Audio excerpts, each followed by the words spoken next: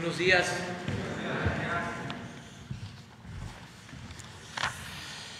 Bueno, antes de informar sobre la situación de salud, como todos los martes, quiero expresar mi más profundo pésame a familiares de migrantes mexicanos, guatemaltecos, hondureños, que murieron ayer asfixiados en un tráiler, una tremenda desgracia. Esto ocurrió en San Antonio, Texas.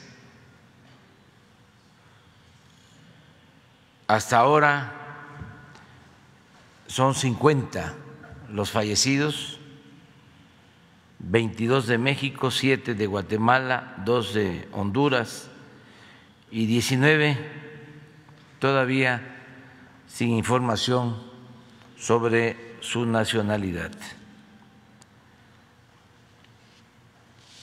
Estamos apoyando, está desde ayer nuestro cónsul están también funcionarios de migración de México y vamos a estar atentos para apoyar a los familiares de las víctimas, el traslado de los cuerpos y desde luego hacer la investigación en lo que a nosotros nos corresponde, porque estos hechos lamentables que desde luego tienen que ver con la situación de pobreza, de desesperación de hermanos centroamericanos, de mexicanos.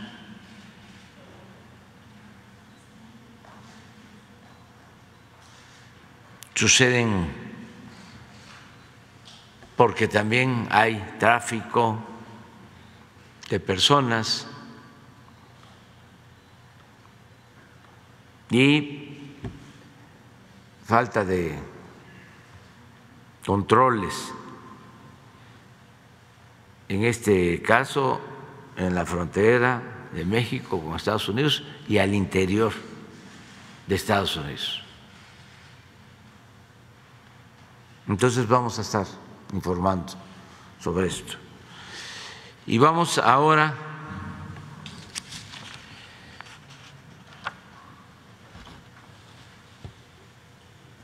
a tratar lo de la salud y también sobre lo del abasto de agua que ayer comentamos en la zona conurbada de Monterrey. Antes de, darle la palabra al doctor Alcocer, quiero comentar que el día 12 de julio voy a tener una entrevista, un encuentro con el presidente Biden en Washington. Y este tema pues es central. Es un tema básico a tratar. Lo hemos venido planteando, pero este hace falta.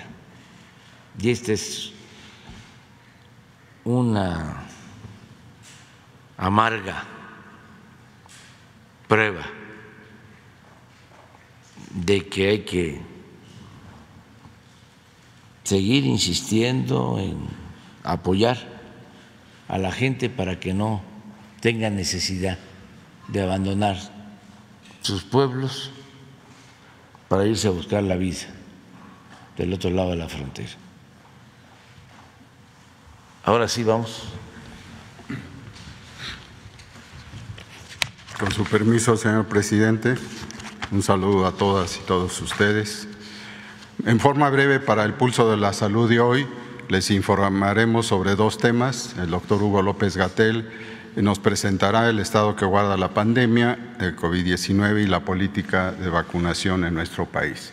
Y en segundo lugar, el maestro Zoé Robledo, como ya es eh, eh, costumbre todos los martes, nos informará los avances del plan de transformación del sistema de salud con el seguimiento del reclutamiento y contratación de médicos especialistas en Nayarit, así como los avances en Colima y del plan de justicia del pueblo guarijío Macarao. También el plan de intervención en los 31 municipios de la costa de, Oaxaca eh, será la información de hoy. Muchas gracias.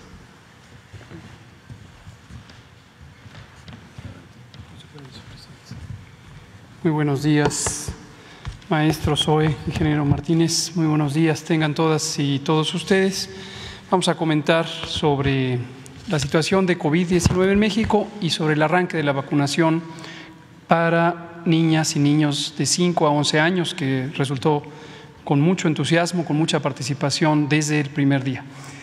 Pasamos la primera, por favor. En la situación de la epidemia, como hemos venido comentando, estamos en una tendencia a la alza. Eh, son ya nueve semanas consecutivas o diez si contamos desde el punto eh, mínimo local y eh, aumentan los casos. Afortunadamente, las hospitalizaciones aumentan muy poco, subimos de 4 a 6% la ocupación hospitalaria de camas generales y de 1 a 2% las camas con ventilador. Asimismo, las defunciones tampoco tiene un gran impacto esta ola de COVID sobre la mortalidad y aumentaron de un promedio de 5 a 7 diarias en las últimas eh, semanas. La vacunación, eh, queremos actualizarles sobre el resumen de lo que se ha logrado con la vacunación. Recordarán esta eh, imagen con estos eh, compartimentos. El promedio general es 87%, la cobertura para todas las edades de los grupos que son elegibles para vacunar en este momento. Las personas de 18 años y más, las personas adultas, ya quedaron con este 91% de cobertura de vacunación. Eso incluye los esquemas de dos dosis, de una dosis y en su momento enseguida comentaré sobre el refuerzo.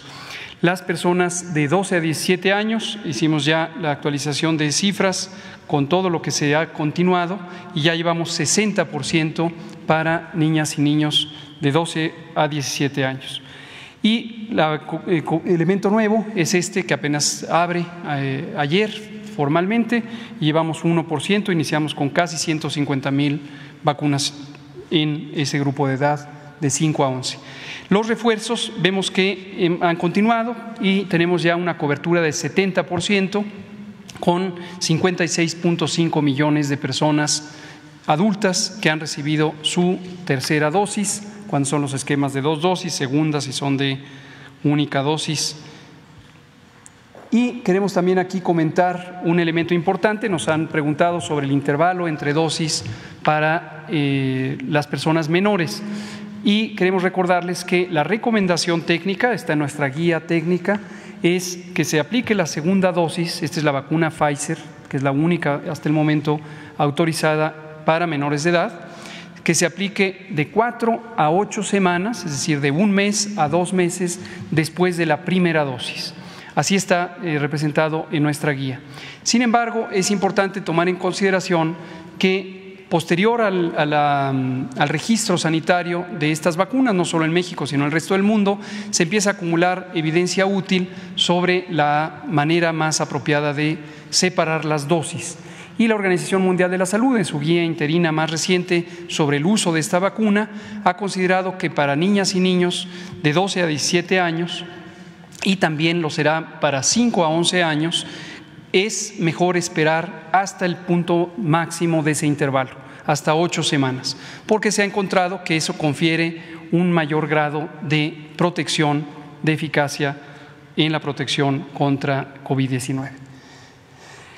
Ayer, como decía, arrancamos oficialmente. Algunas entidades federativas lo pudieron hacer desde el domingo, pero el conjunto arrancó en 11 entidades federativas que están ilustradas en el mapa de color, con casi 150 mil dosis aplicadas. Fue una experiencia muy positiva, una gran colaboración de padres, madres, abuelas, abuelos, familiares en general, de la comunidad. Vemos nuevamente los gestos de solidaridad que tuvimos cuando se vacunó a las personas adultas mayores y en general a lo largo de toda la campaña y agradecemos al pueblo de México esa disciplina, ese orden y esa solidaridad.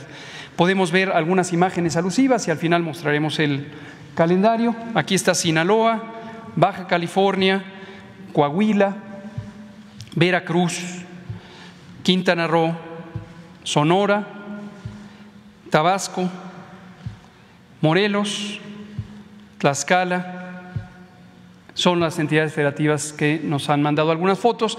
Por supuesto, mi agradecimiento a nombre de todo el equipo de Salud Federal, al personal tanto federal que está trabajando en los estados, en los operativos Correcaminos, como a el personal de salud local que está muy comprometido con este proyecto de vacunación. Lo último que vemos es el calendario. Esta semana recibiremos el segundo embarque de dosis pediátricas, dosis para niñas y niños de 5 a 11 años. Tendremos 1.200.000 este próximo miércoles 29 de junio y 798.000 el jueves 30 para un total de casi 2 millones, 1.998.000 dosis para continuar con los eh, embarques conforme vamos aplicando la vacunación. La recomendación a familias es no deje de vacunar a sus hijos, ya está la vacuna, está la capacidad de hacerlo, no deje de vacunarlo. Y para padres y madres de niños de 12 a 14 años, no olvide la segunda dosis, cuente entre 4 a 8 semanas, si puede esperarse más cerca de las 8 semanas, para ponerle la segunda dosis. Gracias.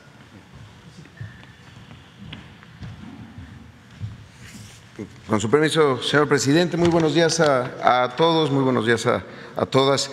Eh, como todos los martes, vamos a conocer los avances del Plan de Salud para el Bienestar, como lo hemos estado haciendo. Salud para el Bienestar significa hacerlo bienestar ahí donde más se necesita. Podemos ver en la primera lámina que tiene que ver con el estado de Nayarit eh, y los avances respecto al tema de los especialistas.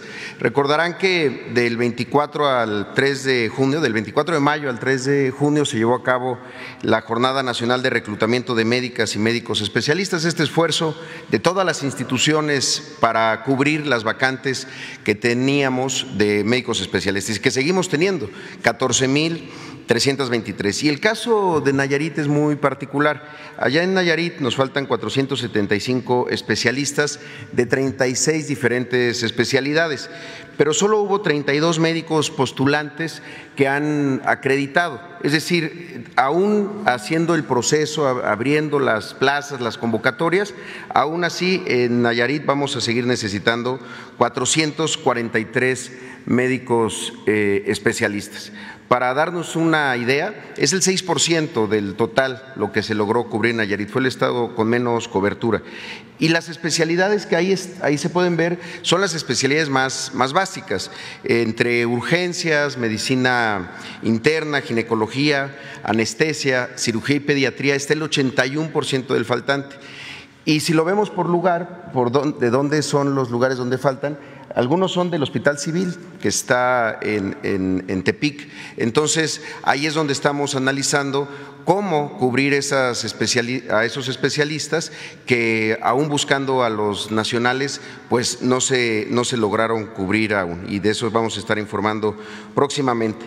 Eh, la siguiente, por favor, también informar que en Nayarit ya concluimos una de las partes más importantes del proceso, que es habilitar todos los quirófanos. Un hospital cuyo quirófano está funcionando, pues difícil, difícilmente le podemos decir hospital y ya hoy en Nayarit el 100% de los hospitales del Estado que atienden a la población que no tiene seguridad social. Ya están funcionando todos sus quirófanos. Desde que arrancó esta ampliación han sido ocho hospitales que se intervinieron porque no realizaban cirugías. Lo mismo el de Compostela, el comunitario de Las Varas, en Tecuala, en Acaponeta, en Ixtlán del Río, el de Jesús María y el de Puente de eh, Camotlán. Y eso evitará que los nayaritas, las nayaritas que viven en esos municipios, en esas localidades, se tengan que trasladar a la capital o a otros estados para su atención. La siguiente, el, último que nos faltaba era el Hospital Básico Comunitario de Las Varas, que está en el municipio de Compostela, una población de 14 mil habitantes, que desde el 2014 contaba con su hospital, pero desde el 2014 no había llevado a cabo ninguna cirugía, ya ahora está funcionando, ya se llevan a cabo las tres primeras intervenciones y vamos a informar sobre el avance sobre esta productividad en las próximas eh, ocasiones. Eh, la siguiente podemos ver el tema de Colima. Uno de los elementos más importantes es darle certezas al personal médico, de enfermería, al personal paramédico. Tenemos una meta de regularizar a 870 eh, personas que tienen estos contratos eventuales, pero que son durante muchos, muchos años. Ya llevamos 429 trabajadores de la salud que han iniciado su proceso, es decir, llevamos un 49% de avance en este, en este aspecto. Son 121 médicos que llevaban antigüedades de 1 hasta 7 años, 277 personas de enfermería y 31 paramédicos también con antigüedades que llevaban de 2 hasta 11 años, con contratos eventuales, algunas veces de un mes, de seis meses, máximo de un año, pero ahora ya tienen esa certeza para trabajar.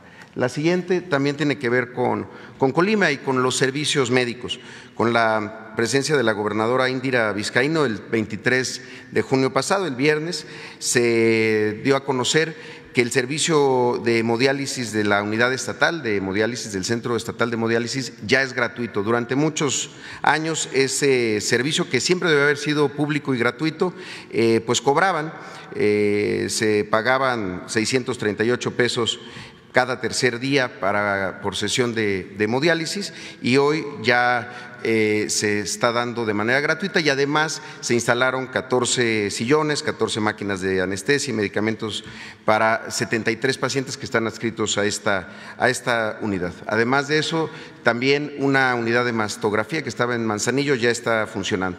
Pero traemos un testimonio justamente del tema de hemodiálisis para compartírselos.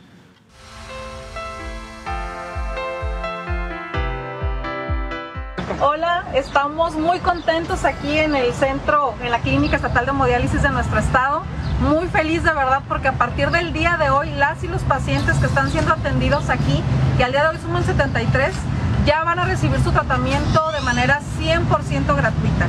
Esto es de un gran significado porque en todos lados cuando nos encontrábamos con personas que vienen a recibir su tratamiento nos comentaban esta necesidad. Ellos pagaban 638 pesos en cada una de sus terapias, es decir, aproximadamente 7.500 pesos mensuales.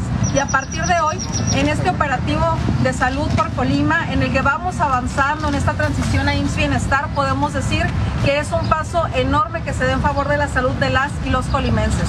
A partir de este día, este tratamiento es 100% gratuito. Y muchas gracias a todo el personal que labora aquí, del que sus propios pacientes han expresado que lo hacen con el mayor de los cariños y, de los y del compromiso para atenderles con mucho amor.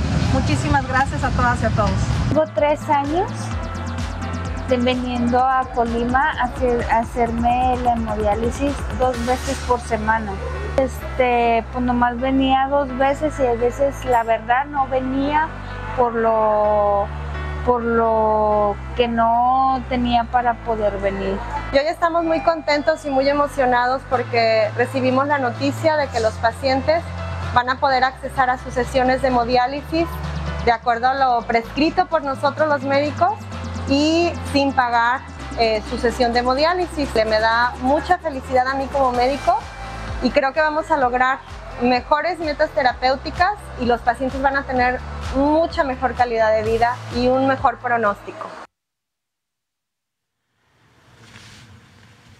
Gracias. Y bueno, de Colima nos pasamos a, a Sonora para presentar eh, los avances del Plan de Justicia para el Pueblo Guarijío.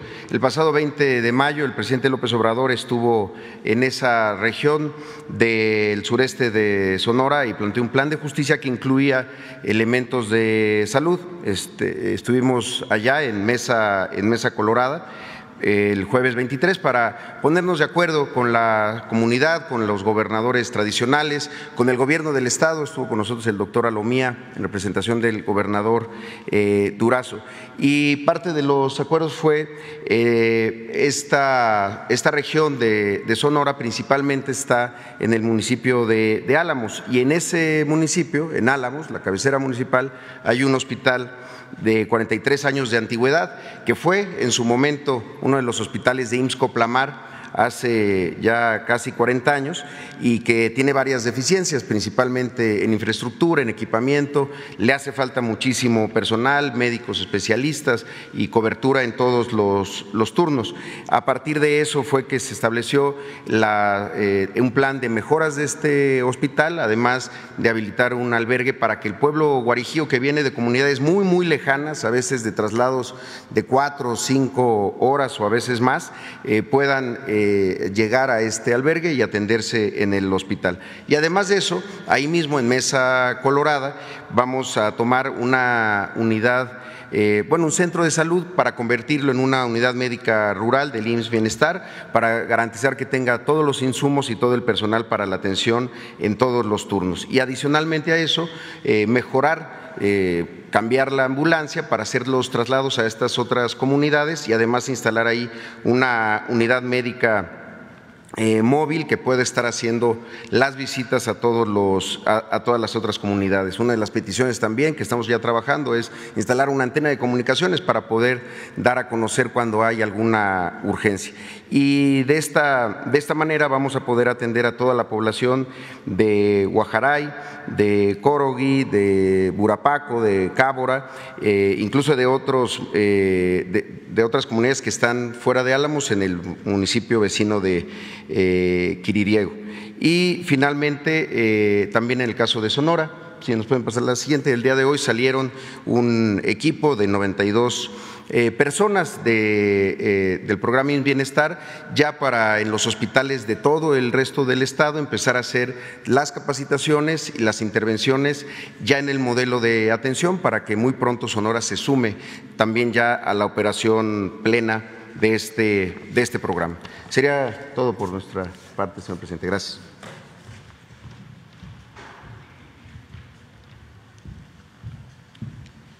Con su permiso, señor presidente, muy buenos días a todas, a todos. Eh, hoy vamos a dar cuenta de la situación eh, que guarda la zona metropolitana de Monterrey en relación al abastecimiento de agua potable.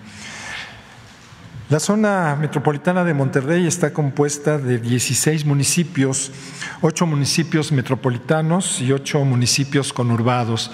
Eh, Monterrey ha sufrido un proceso de urbanización muy intenso. La siguiente, por favor. En 1990, eh, la población en la zona metropolitana de Monterrey era de 2.691.258 habitantes. 2020, la población es de 5.322 1.117, 5.322.117 habitantes. Como vemos, en 30 años se ha duplicado la población en la zona metropolitana de Monterrey. Además, mm, la zona metropolitana de Monterrey eh, tiene eh, eh, principalmente el 8% del Producto Interno Bruto, o sea, hay una actividad económica importante, es el tercer lugar en el Producto Interno Bruto del país. ¿Qué, se tiene para atender la demanda de agua potable a la población? El organismo operador de agua potable y drenaje de Monterrey, en condiciones normales, requiere 16.180 litros por segundo. Esto es equivalente en promedio a 510 millones 252 mil 480 metros cúbicos al año. Eh, la dotación que se puede dar con estos volúmenes de agua a la población serán entre 250 a 260 litros por habitante por día. Estamos dentro de lo que se recomienda en las normas oficiales para atender el derecho humano al agua. Eh, en, lo que se refiere a fuentes superficiales, eh, se reciben en la zona metropolitana 355 millones 900 mil metros cúbicos al año para público urbano, o sea, aproximadamente 11.285 litros por segundo.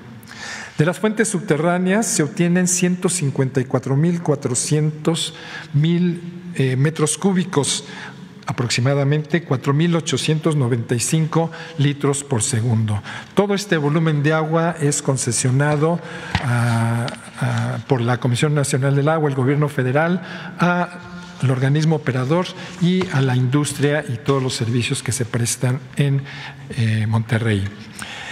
En lo que se refiere, me voy a referir a la parte del aprovechamiento subterráneo eh, de los 154 mil 154 millones 400 mil metros cúbicos, 4 mil 895 litros por segundo se distribuyen de la siguiente manera. Para el concepto agrícola, 5 eh, millones 400 mil eh, metros cúbicos, equivalente a 171 litros por segundo. Esto representa el 3.5% del total de fuentes subterráneas. Industriales tienen alrededor de 49, mil, 49 millones 900 mil metros cúbicos, equivalente a 1.582 litros por segundo. Eh, el porcentaje de, de abastecimiento de la zona industrial viene y proviene principalmente de la fuente subterránea de un 32.3%. En servicios, 6 millones 400 mil con un eh, porcentaje del 4.1%. La principal eh, demanda que se tiene eh, siempre es la pública urbana doméstica con 92 millones 700 mil metros cúbicos, equivalente a 2.939 litros por segundo. Esto de aguas subterráneas representa el 60%. Del total de las aguas, o sea, de los 510 millones 252 mil, el uso público urbano es de 88% y el uso industrial casi el 10%, 9.8 del total.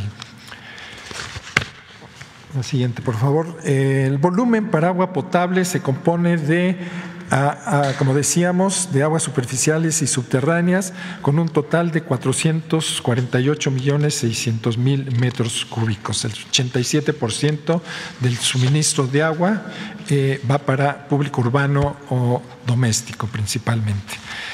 En condiciones normales, las fuentes superficiales presas aportan el cuchillo 4.780 litros por segundo, la boca 920 litros por segundo. Cerro Prieto, 5.320 litros por segundo. Otras fuentes subterráneas, 260 litros por segundo. En total, 11.280 litros por segundo de fuentes superficiales. Debido a la baja en los almacenamientos en las presas, se está aportando actualmente del cuchillo 5.000 litros por segundo, de la boca nada, 0 litros por segundo, de Cerro Prieto 2.500 litros por segundo en riesgo de vaciarse, otros 260 litros por segundo. O sea, de actualmente de las fuentes superficiales se está aportando 7.760 litros por segundo. De la Boca y Cerro Prieto, el déficit acumulado actual es de más de 3 mil litros por segundo, o sea, lo que, con lo que se pudiera abastecer de agua a 1.3 o a 1.5 millones de habitantes. ¿Qué estamos haciendo en coordinación con el gobierno de, Nuevo León? El gobierno federal, eh, desde el inicio de esta administración, ha aportado eh, cerca de 2.183.5 millones de pesos. Eh, el costo total de esto eh, para la construcción de la presa Libertad y poder aportar cerca de 1.585 en el año 2023, 5.585 litros por segundo, cuesta o costará 7.474 millones de pesos. ¿Cómo ha aportado el gobierno federal esta suma de 2.183? De 2018 a 2019 se han aportado 12.37 millones de pesos. En 2020, 578.18 millones de pesos. En 2021, 1.008 millones de pesos y 2022, 584.7 millones de pesos. El gobierno federal también está apoyando la parte técnica para que se termine la construcción de la obra en el año próximo. ¿Qué más ha apoyado el gobierno federal al gobierno de Nuevo León? Es, eh, considerando que actualmente las principales fuentes de abastecimiento de agua están en el acuífero, eh, tenemos una aportación de 19.2 millones de pesos para perforar 24 pozos someros para aportar en un inicio 285 litros por segundo. Se ha iniciado la reactivación, vamos a llegar hasta 60 pozos en el transcurso de este año, pozos de emergencia con una aportación federal de 25 millones de pesos también fueron aportados en 2021 y se espera tener 524 litros por segundo. El año pasado, viendo que la presa Cerro Prieto estaba disminuyendo su capacidad, en coordinación con el gobierno de Nuevo León, se eh, invirtieron por parte del gobierno federal 23 millones de pesos para la instalación de equipo de bombeo flotante en la presa y poder obtener los 2.500 litros por segundo que actualmente se están aportando. También para el año 2022 se incorporarán 16 pozos profundos que aportarán 240 litros por segundo y con un apoyo del gobierno federal de 62 millones 284 mil pesos. Todos estos apoyos económicos federales son eh, al 50% del total de las inversiones.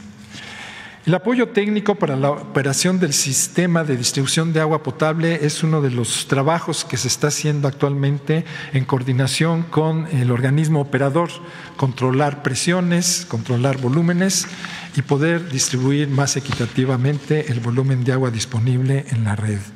También se ha apoyado con carros tanques de la Conagua 26 pipas de agua potable para transportarse a las familias más necesitadas. Actualmente se han distribuido 13 millones 390 mil litros de agua potable. También eh, algo muy importante que está haciendo el gobierno federal, se han establecido acuerdos con la industria, hay compromisos para inyectar directamente a la red 200 litros por segundo hasta incrementarlo a 500 litros por segundo. También estamos en acuerdos con la zona agrícola, citrícola de las zonas cercanas a la zona metropolitana de Monterrey para aportar de agua superficial hasta mil litros por segundo, agua que puede ser conducida hasta el acueducto Cerro Prieto. Las principales aportaciones de lluvia que pudiera tener eh, el estado de Nuevo León provienen de las condiciones meteorológicas, o sea, los ciclones tropicales que se presentan en el Golfo de México, en el Atlántico. Actualmente está eh, activo un ciclón tropical, el que le denominamos dos, eh, este va a, se tiene eh, pronosticado que va a impactar a Nicaragua. Sin embargo, la actividad en el Golfo oh, de México da posibilidades de lluvia a Nuevo León. Vamos a esperar las siguientes semanas si tenemos algunos efectos de las bandas de, esta, eh, de este ciclón tropical. Voy a hacer un pequeño resumen de los industriales que eh, actualmente están registrados, que tienen concesiones con la Comisión Nacional del Agua. Eh, tenemos como principales concesionarios eh, industrias Alcal, ¿sí? con un volumen concesionado de 4 millones 457 mil, 4 millones 457 mil eh, metros cúbicos. Esta concesión se dio en el 2015 y eh, está eh, hasta el 2015 y se registró en 1994. Todas estas concesiones han sido registradas principalmente en el año 1994, las más recientes son a finales de la administración pasada. Eh, los principales eh, eh, industriales, como decía, Industrial de Alcali, Ternium de México, que tiene un volumen concesionado de 2.522.880, un organismo público descentralizado, Parque Fundidora, 2.241.000, la cervecería Cuauhtémoc, eh, Geneken, 2.212.000 en una concesión y 1.419.000 en otra concesión. Bebidas purificadas, 1.400.000 eh, metros cúbicos. Y así vemos también Ternium, que tiene 1.371.816 eh, metros cúbicos, ILSA 1.299 millones, eh, nuevamente Ternium 1.292.000. Y así podemos seguir con una lista de 64 concesionarios. el menor que está aportando es eh, alrededor de los 300 mil metros cúbicos, Owens, Vimosa. El total de estas eh, concesiones es eh, cerca de 50 millones de metros cúbicos. Esto equivale aproximadamente a 1.600 litros por segundo. En los convenios que tenemos con la industria de todo este volumen eh, se tienen ya comprometidos 200 litros por segundo y vamos a llegar a 500 litros por segundo en futuras aportaciones. El, eh, que está aportando ahorita en mayor volumen es Ternium, eh, la cerera. Es todo, señor presidente. Muchas gracias.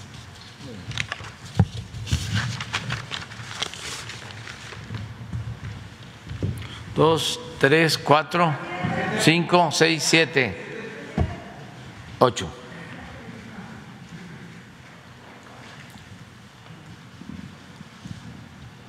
Muchas gracias, eh, presidente. Buenos días. Shaila Rosagel, corresponsal del Grupo Gili, El Imparcial de Sonora, La Crónica de Mexicali y Frontera de Tijuana. Presidente, preguntar, eh, eh, con su reciente visita a Sonora dieron fecha para que abrir el hospital de especialidades de, de Hermosillo para el 15 de septiembre. Preguntar si esta fecha sigue en pie, si va a ser el 15 de septiembre, si nos pudieran dar avances de cómo va pues lo que hacía falta en el hospital y si a partir del 15 de septiembre ya va a estar completamente abierto al, público ya eh, este hospital. También preguntar eh, sobre lo que acaban de informar del eh, plan de justicia para, para los guarijíos.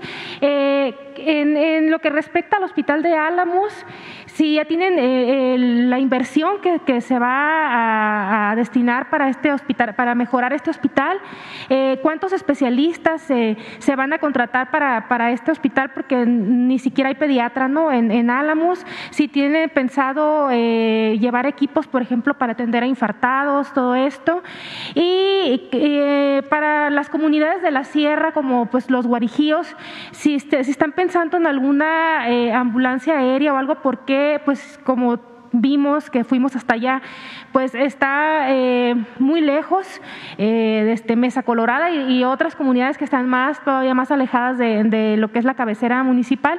¿Cómo tienen previsto pues solucionar este problema cuando haya algún caso grave en la sierra, no que para que puedan llegar hasta hasta hasta Álamos o si en el hospital que en el centro de salud de Mesa Colorada ahí van a va a haber algo para para urgencias graves. Gracias.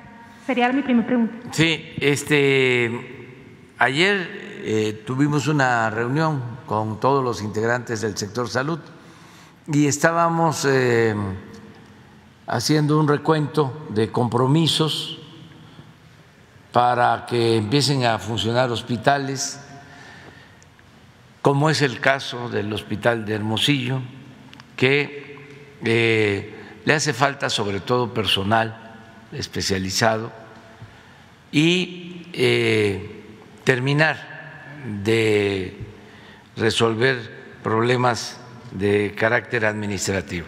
Hicimos el compromiso de septiembre y lo vamos a cumplir. Ayer les hablaba yo de eso, precisamente, porque yo no puedo eh, quedar mal.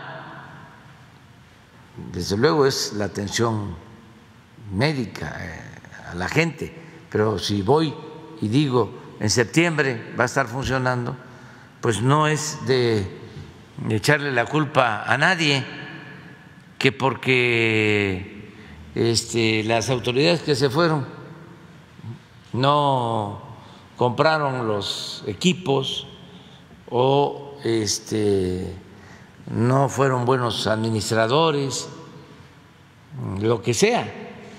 Tenemos nosotros que cumplir y eso se los planteé ayer, como el hospital de Ciudad Juárez, que hicimos el compromiso de terminarlo, porque se lo inauguraron prácticamente en obra negra, fue pura escenografía cuando estaba el señor Duarte, pero ¿cuánto tiempo ha pasado desde entonces?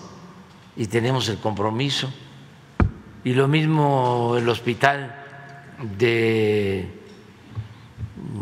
Ticul, en Yucatán, que también lo dejaron en obra negra, y otros en Oaxaca, que yo creo que es el estado de todos, en donde más hospitales inconclusos eh, quedaron, alrededor de 50 porque era una forma de robarse el dinero. Se entregaba el dinero y se decía vamos a hacer un hospital y así justificaban el gasto. No lo terminaban se quedaban con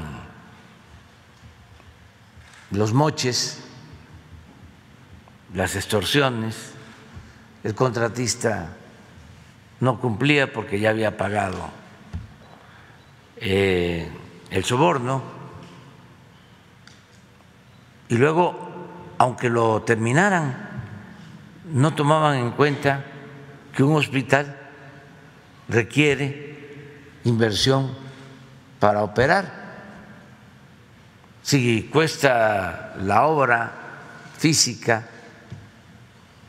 la obra civil, mil millones, se requieren otros mil millones al año para operar, para el pago del personal, para los equipos, para las medicinas, y eso ya no lo tomaban en cuenta. Era una forma, pues, de robarse del dinero. Por eso el tiradero por todos lados. Entonces eso pues se está eh, resolviendo y se está eh, atendiendo por lo que preguntas sobre eh, cuándo va a estar este hospital de Hermosillo. Sobre los guarijíos hicimos el recorrido, eh, es parte del eh, programa de salud pública, sobre todo en las regiones más pobres del país. Cuando tomaron la decisión de descentralizar el sistema de salud, solamente eh, dejaron los hospitales del IMSS Bienestar a cargo de la federación. Todo lo demás lo pasaron a los estados. Y la federación le transfería los recursos a los estados y no en todos los casos, pero sí llegaban los recursos a los estados en este, ocasiones y se usaban para otras necesidades. O se desviaban.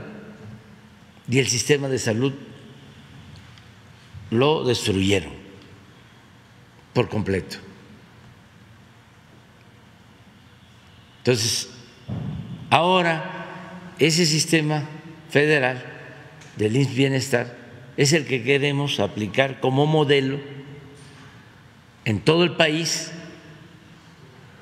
con la federalización para que haya atención a toda la población que no tiene seguridad social, que es la mayoría de la población del país.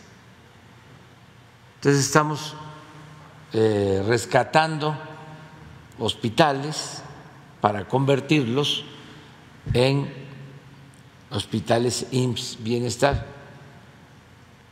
Eh, ese hospital de Álamos era un hospital IMSS Bienestar. Hace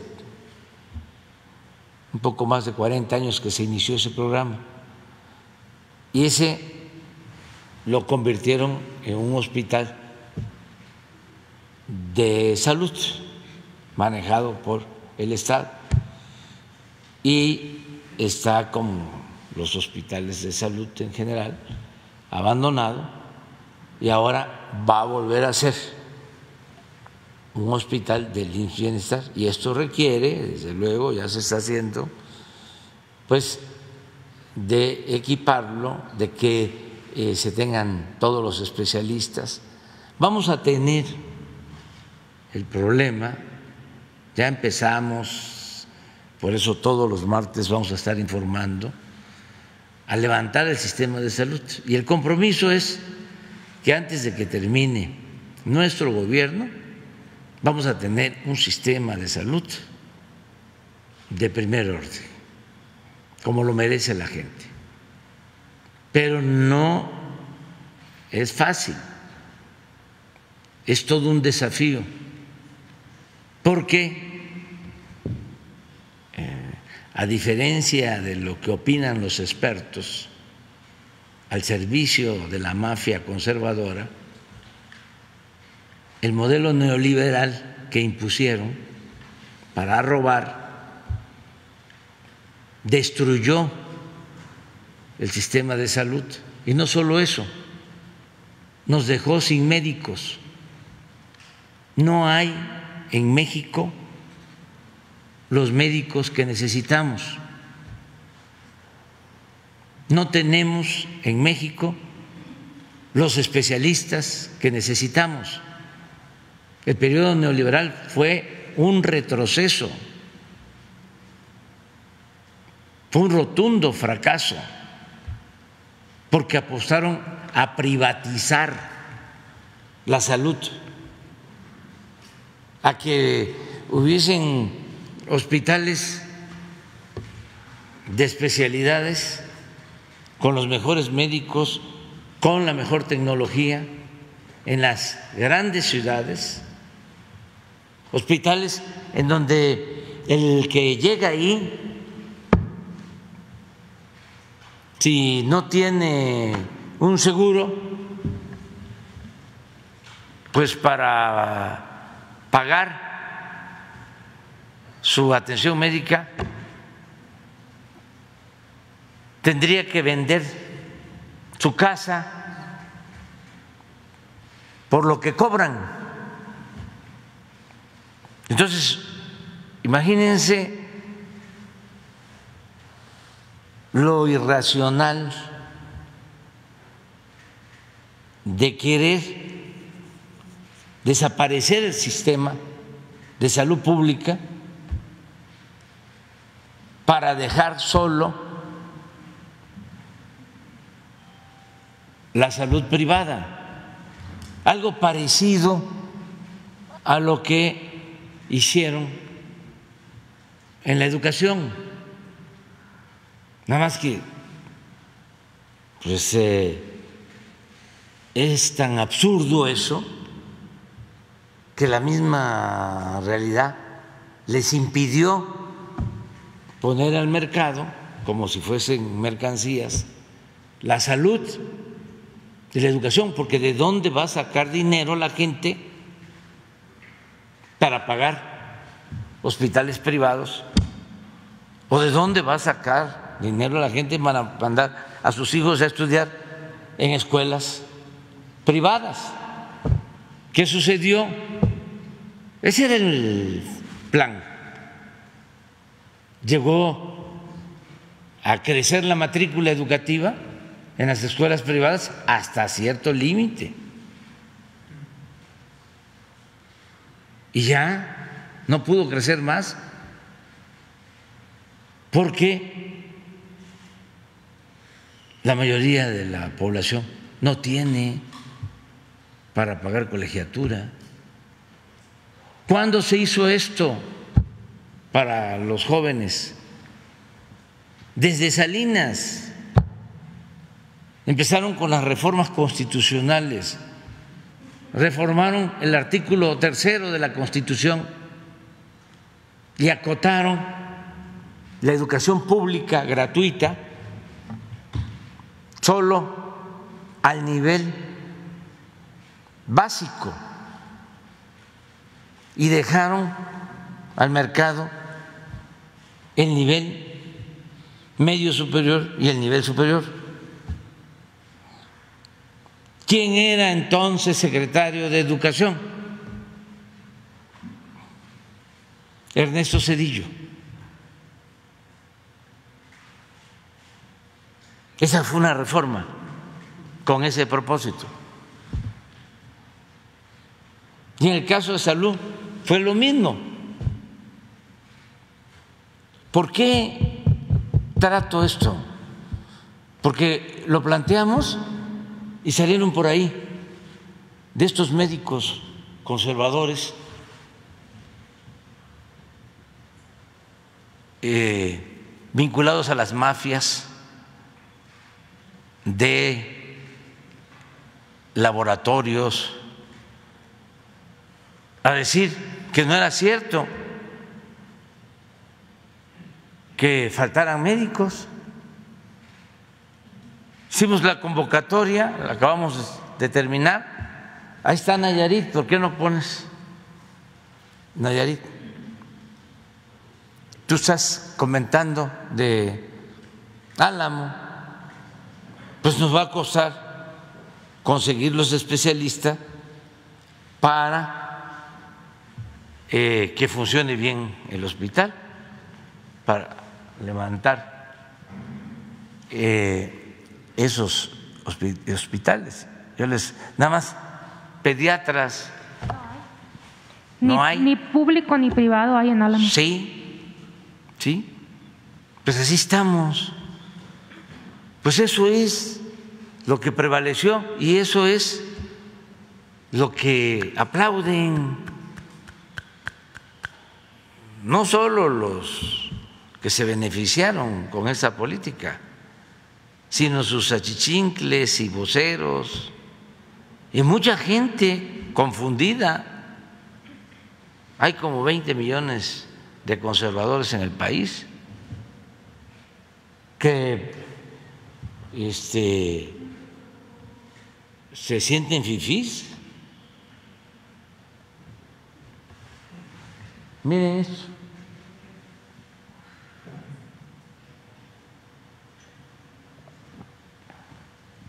Luego de la convocatoria de reclutamiento de médicas y médicos especialistas, se concretó la acreditación de 32 postulantes.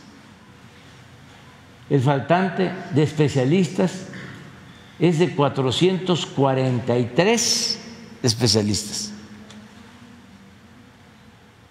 Esto es Nayarit.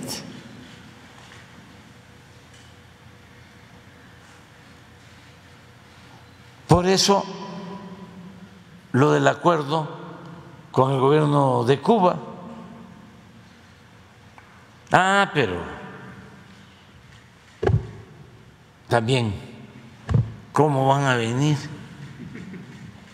médicos cubanos a desplazar a los médicos mexicanos, como si la salud no fuese un derecho humano universal.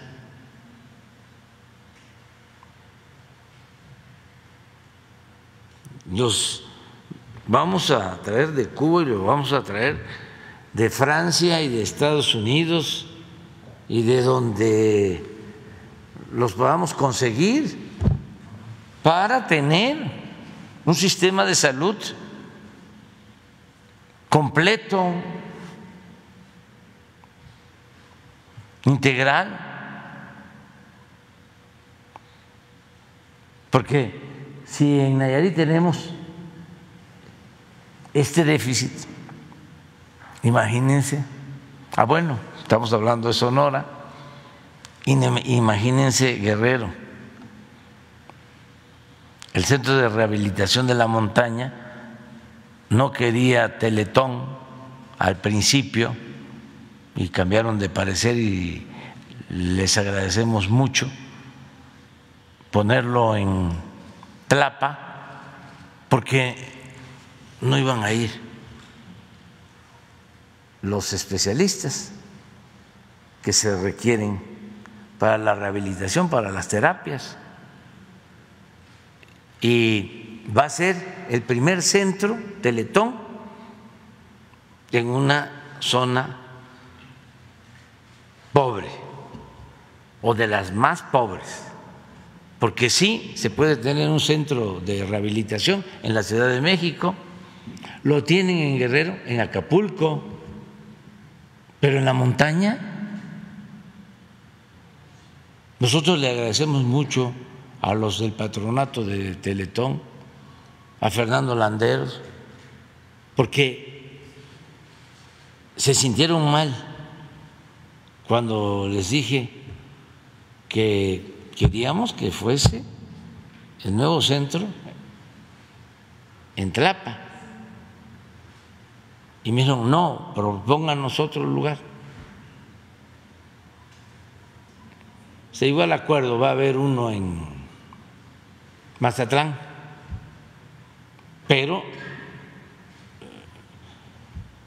se quedaron con esa inquietud y luego vinieron y me dijeron, vamos a hacerlo en Talapa. Fíjense cómo está la situación de la montaña, que aunque se tenga el centro de rehabilitación en Tlapa, cómo se trasladan los niños, niñas, las personas con discapacidad a Tlapa de Metlatono, que son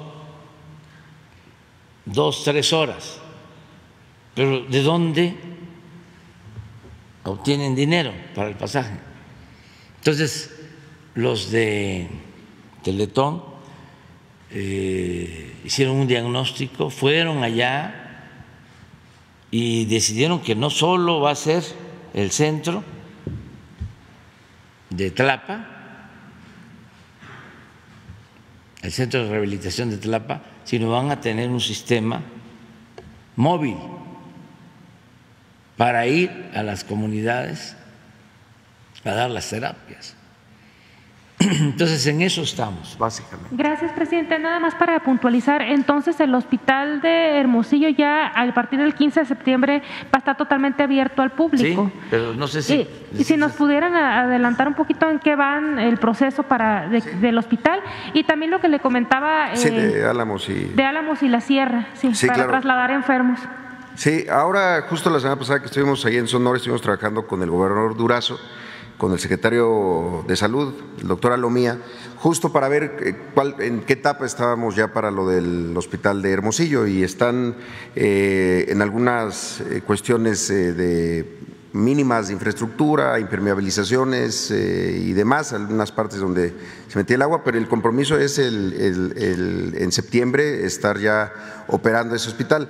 Sí hay una parte que, en donde estamos avanzando para la contratación del resto del personal que hace falta. Usted lo sabe, es un hospital que sustituye al anterior Hospital General de Hermosillo, pero es más grande y tiene más especialidades. Esa es la parte que estamos ahorita cubriendo porque necesitamos más personal para que no sea nada más pasar a la gente de un hospital a otro, sino que crezca y realmente pueda dar todos los servicios. Pero sí, el compromiso es eh, estar en operaciones en septiembre. Y solamente sobre lo del hospital de Álamos, ya lo comentó el señor presidente, era un hospital de bienestar tenemos ya no solamente el levantamiento de qué se necesita en equipo, qué se necesita en infraestructura, también es mínimo, pero se necesita. Les pongo un ejemplo, ahí estaban las residencias, ahora las utilizan de bodega, porque las residencias para los médicos especialistas que están haciendo su rotación de campo, de las especialidades troncales, pues necesitan dónde estar, dónde, dónde vivir. Y el tema del albergue, un albergue, ese era privado, incluso estamos buscando a los propietarios para poder pedirles la donación y ya operarlo desde IMSS Bienestar. Eh, además de eso, lo más importante es efectivamente el personal. Hay solamente dos eh, médicos, eh, ginecólogo y, una parte de mm, anestesia y además con médicos generales, pero solamente en el turno matutino. En la tarde se, todas las urgencias es con médicos generales, que a veces pueden resolver y hacen su trabajo, pero hay cosas que quedan fuera de sus manos. Entonces es cubrir en todos los turnos como un hospital de bienestar que va a ser ya en todas las, en ginecología, pediatría, cirugía, anestesia, urgencias y medicina familiar y medicina interna. Y por último, efectivamente, uno de los principales problemas del pueblo guarijío pues, es la lejanía y lo inaccesible que es el, eh, esa, esa, eh, esa, parte del, del Estado. Si uno lo ve en el mapa, pues dice que de Álamos a Mesa Colorada son 84 kilómetros y entonces si uno va a 84 kilómetros por hora es una hora, pero son casi cinco horas eh, por carretera. Entonces, uno de los principales problemas es la falta de comunicación. En Oaxaca estamos trabajando con estrategia digital de presidencia, instalando antenas en las unidades médicas rurales. Lo mismo vamos a hacer allá, para que entonces lo podamos conectar al, al centro de regulación de urgencias médicas. Hay urgencias que teniendo ya la la, ambulancia, pueden hacerse en ese traslado, pero hay otras urgencias que requieren de un traslado aéreo porque tienen ya cuestión de horas para, salvarle la vida a una persona. Pero lo primero era conectarlas. Por eso estamos este, instalando esta, antena para que puedan dar a conocer al Hospital de Álamos o incluso al CRUM de Sonora, al centro de urgencias, que tienen una necesidad. Y solo por último, lo que se comentaba, estamos en el proceso, junto con toda la Secretaría de Salud, para que todos los hospitales de bienestar tengan el servicio de trombolisis. Es el tema de código infarto. Es decir, que una persona que acude a un hospital que no necesariamente tiene cardiólogo, pero sí tiene a un personal capacitado de, médicos que pueden llevar a cabo este procedimiento de la trombolisis que ayuda a que esa persona pueda ser transferida a un hospital de mayor especialidad y ser, y ser atendido. Tenemos incluso una fecha, el 18 de julio, como compromiso para que todos los hospitales ya tengan los medicamentos y capacitado al personal para ofrecer esto que tiene que ver con el código infarto. Gracias. Gracias, presidente. Eh, sí. Sí, eh, del hospital de Juárez, ustedes conocen la, situación, era un hospital de, salud que se empezó a hacer, se inauguró incluso. Lo que nosotros estuvimos, eh, hemos estado trabajando y no hemos parado, fue primero como era parte de todo este polígono donde estaba el galgódromo, la primera etapa era resolver la propiedad hasta hace muy poco, hace seis meses, se terminó de resolver toda la parte jurídica para recibir el, terreno y poder intervenir. Ya concluimos el, proyecto y, justamente acabamos de hacer una serie de modificaciones para que eh, el hospital ya empiece la, la construcción con el proyecto ejecutivo que tenemos. Había una decisión que tomar que tenía que ver con esa estructura que en realidad uno lo ve por fuera y pareciera que está terminado. Es una estructura metálica cubierta, este, digamos, por fuera, pero no tiene nada por dentro. Y se hizo un estudio para resolver si lo mejor era mantener esa estructura y sobre esa construir o, empezar de, de, cero. Se verificó que sí se podía construir utilizando la parte que llaman centro oncológico, que no era un centro oncológico, no era nada en realidad, para poderlo hacer todo en esa parte baja.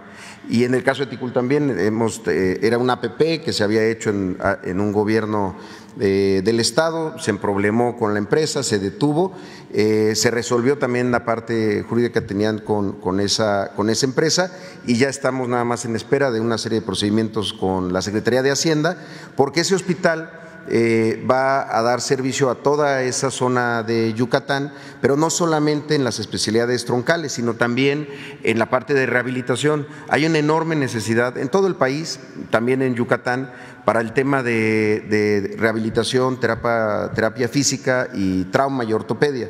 Entonces eh, se definió que la mejor vocación para ese lugar era esto. Eh, también hemos estado trabajando con el gobierno del Estado, hicieron ellos y ya nos entregaron un, dictamen de, protección civil que se tenía que tener también para, para ya poder iniciar. Gracias, presidente. En un segundo tema y ya último tema, preguntarle sobre su visita eh, a Estados Unidos con el presidente Biden el 12 de julio.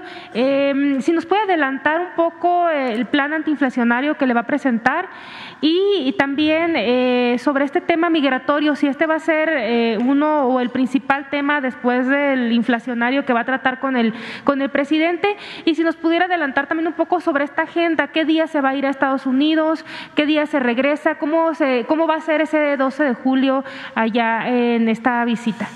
Bueno, este, me voy un día antes, el día 11, la reunión es el 12, todavía está definiéndose eh, la agenda eh, conjuntamente. Hoy tengo una reunión con el embajador de Estados Unidos en México, se va a tratar sobre este asunto. Eh, desde luego, el tema migratorio es central. También lo que tiene que ver con la cooperación para enfrentar el problema inflacionario, cómo nos ayudamos mutuamente y eh, otros eh, temas que vamos a desarrollar. Una revisión de la necesidad de integrarnos. Hemos venido insistiendo en el apoyo a Centroamérica y también en que se incrementen las visas temporales de trabajo, que se ordene el flujo migratorio. Lo he planteado, no solo al presidente Biden, desde que estaba el presidente Trump, porque hay una realidad que a ellos les cuesta mucho trabajo aceptar sobre todo por sus dogmas y su política antiinmigrantes, no tienen fuerza de trabajo.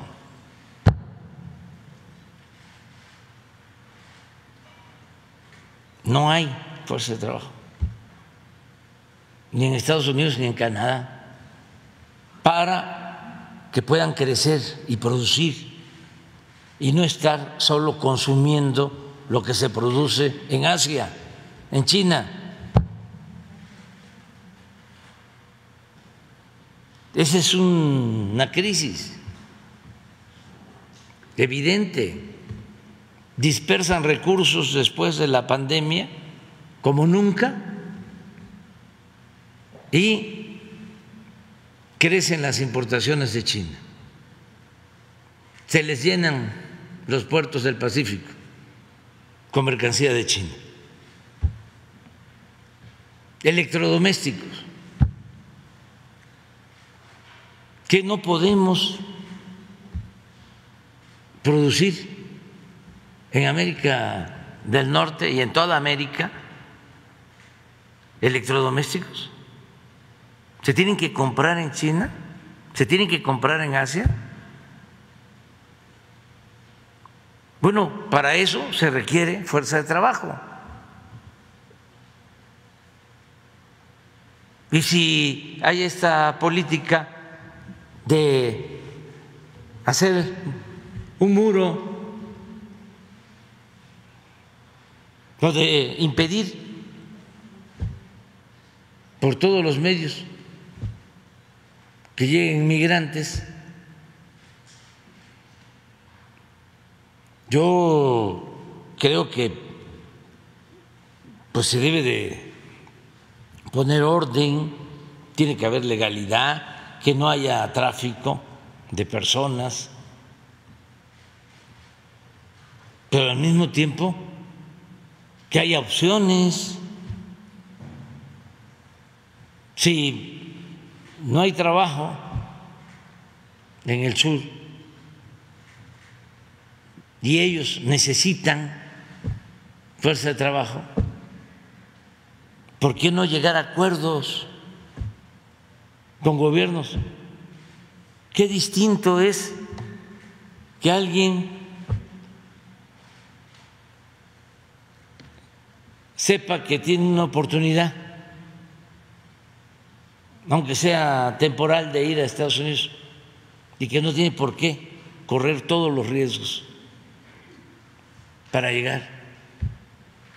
Un programa ordenado de acuerdo a la demanda en Estados Unidos, en la agricultura, en la industria en los servicios. No hay fuerza de trabajo. Ah, pero como vienen las elecciones, tanto unos como otros, y unos todavía más extremistas, agarran de bandera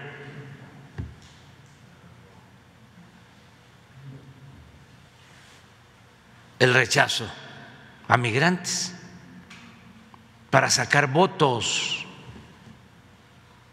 trafican con el dolor de la gente.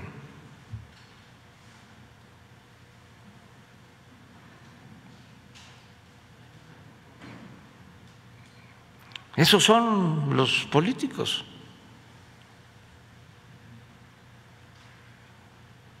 de Estados Unidos, no todos, pero sí, muchos. ¿Por qué no se ha aprobado la iniciativa de regularizar a los migrantes? Ah, porque eso es cuestionado por los opositores.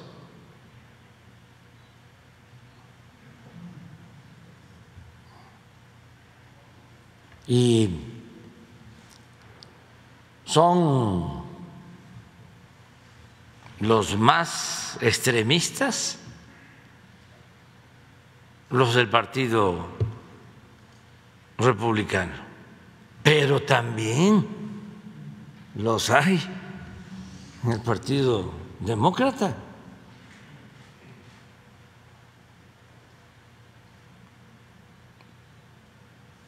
Que no toman decisiones. Yo voy a plantear esto. Eh, llevo muy buena relación con el presidente Biden, tengo la mejor opinión de él.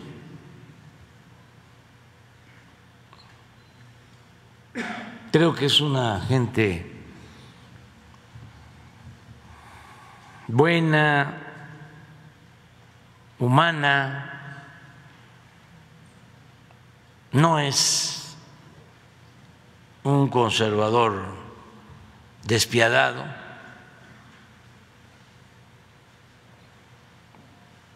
Y por eso voy a seguir insistiendo en el tema. Entonces, es un planteamiento y también de trabajo conjunto con el presidente Biden, que no estén pensando que vamos a distanciarnos, vamos a estar siempre actuando con respeto y buscando cooperar con el gobierno de Estados Unidos y en especial por las características como político del presidente Biden.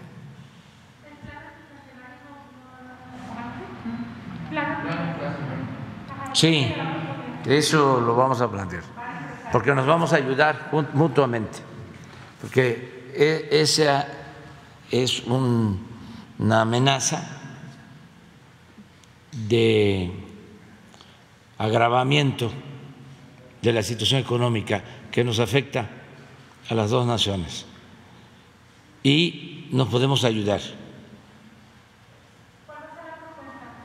Eso hasta allá todavía no, pero sí estamos trabajando en una propuesta que eh, vamos a hacer en su momento. Em, de cómo nos complementamos cómo la inflación tiene tres importantes componentes, lo energético, los alimentos y otros bienes. ¿Cómo logramos que en estos tres componentes no haya aumento de precios? Con el secretario de Relaciones Exteriores. Eh, me va a acompañar mi esposa porque está programada una reunión con la esposa del presidente Biden.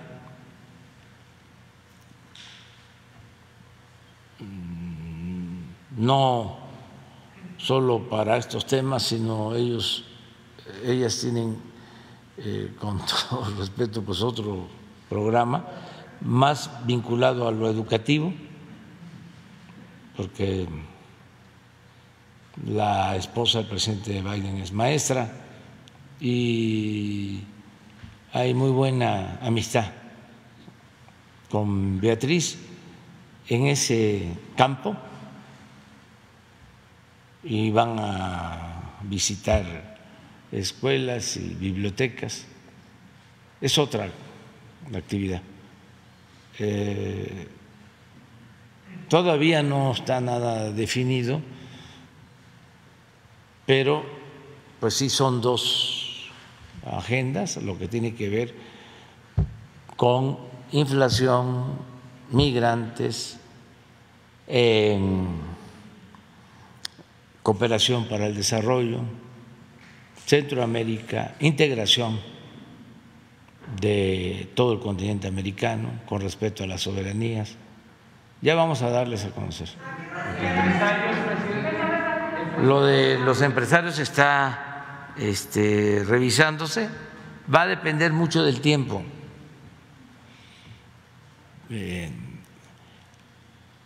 pues del tiempo que disponga el presidente Biden, su equipo nosotros fuimos, somos invitados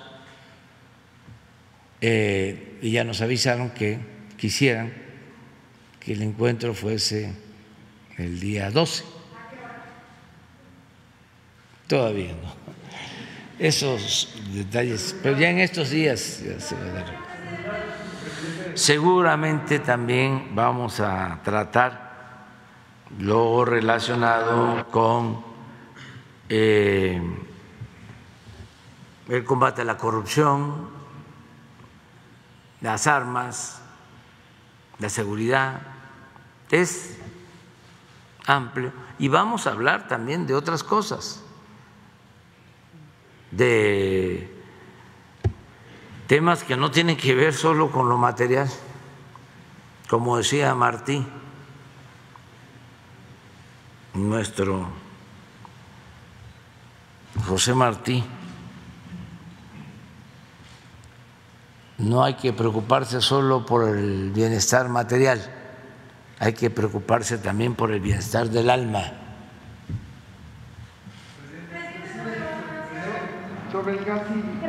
¿Cómo quedamos entonces? ¿Quién es que de los Ustedes, ustedes ya denle, denle, el micrófono al que le corresponda. ¿A quién? Ya.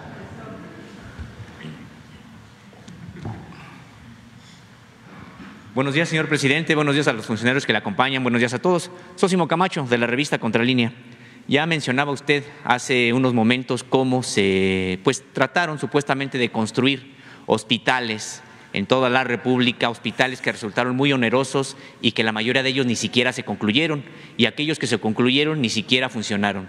La mayoría de estos, de hospitales se construyeron bajo un esquema de, eh, conocido como PPS, eh, proyectos de prestación de servicios, y esto, eh, señor presidente, ocurrió no solamente a nivel federal, hay casos a nivel estatal, hay un caso de la Ciudad de México y que no necesariamente es de eh, materia de salud. Estamos hablando del sistema de comunicaciones y transportes. Hay un expediente de 2010 al que Contralínea pues, ha tenido acceso, un análisis que están haciendo incluso las actuales autoridades de la Ciudad de México, que tiene que ver con la línea 12. se trata, señor presidente, cuando hace, bueno, en 2010 se endeudó por 15 años las finanzas públicas locales por más de 30 mil millones de pesos. Esto para adquirir 30 trenes mediante un esquema de contratación como el que le estoy comentando, de prestación de servicios a largo plazo. Y esta operación que ha sido investigada por Contralínea, de la cual hemos publicado una primera parte, vendrán otras al respecto, fue planeada para disfrazar este endeudamiento exorbitante pues la eh, operación significó, por haberlo hecho mediante PPS, una, un sobreprecio del 200%. La operación debió de ser de 12 mil millones de pesos y como se hizo bajo este esquema, el costo se elevó a más de 30 mil millones de pesos y además se va a terminar de pagar hasta 2026, como decíamos, con un sobreprecio de 20 mil millones de pesos. Y bueno, quienes están involucrados precisamente en esta operación era el entonces jefe de gobierno, Marcelo Obrar Casaubón, el director de finanzas, Mario Delgado, el subdirector general de Administración del Sistema de Transporte Colectivo Metro de entonces, Juan Carlos Mercado Sánchez, quien ahora además se desempeña como director general de Bienes Inmuebles y Recursos Materiales de la Secretaría de Relaciones Exteriores, y también el auditor eh, general de entonces, José Antonio Domínguez Carballo, quien además hasta hace algunas semanas también trabajaba todavía en la Secretaría de Relaciones Exteriores. Nosotros al tener acceso a este expediente consultamos con varios abogados y bueno, pues eh, lo que nos señalan es de que se trata de un delito, de un presunto o un probable delito de desvío de recursos públicos y que, eh, bueno, pues este enorme fraude que ha hecho un boquete a las finanzas públicas eh, no ha prescrito porque todavía se está pagando, se terminará precisamente de pagar hasta 2026. Y la pregunta, señor presidente, es, eh, bueno, pues qué opinión tiene usted de este expediente, de esta investigación que está realizándose en la Ciudad de México, eh, toda vez que son, eh, involucra a varios funcionarios que se encuentran hoy en el gobierno federal, particularmente en la Secretaría de Relaciones Exteriores. Bueno, aquí hay dos cosas. Una, de que esa era la práctica durante mucho tiempo. Desde Hacienda recomendaban a los gobiernos estatales ese mecanismo para hospitales, para carreteras, para reclusorios, para la construcción de edificios públicos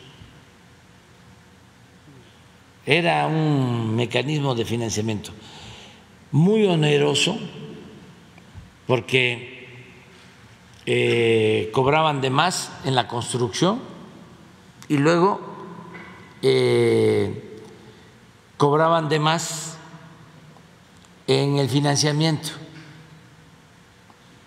Yo tengo el ejemplo de que construimos cuando fui jefe de gobierno el hospital de Iztapalapa, Belisario Domínguez, 350 millones de pesos, 150 camas, financiado de manera directa, como estamos haciendo todas las obras. Algunas, aclaro, hemos tenido que eh, renegociar contratos de estos de APP, porque ya estaban firmados y lo que hemos logrado es una disminución. Bueno, renegociamos los contratos de los gasoductos, renegociamos contratos de mantenimiento de carreteras, también APPs, 10 mil millones de pesos al año para mantener 10 carreteras. ¿Saben cuánto es el presupuesto para el mantenimiento de 40 mil kilómetros de carreteras libres del gobierno federal? 10 mil millones. Y para 10 carreteras concesionadas con APPs, los compromisos que dejaron establecidos eran 10 mil millones.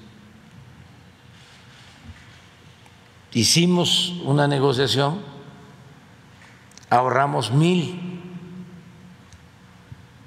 millones, que es el dinero que estamos utilizando para los caminos de mano de obra de la montaña de Guerrero, precisamente.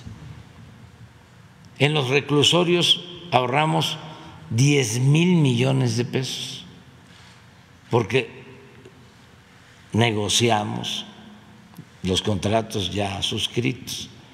En el caso de hospitales hemos logrado también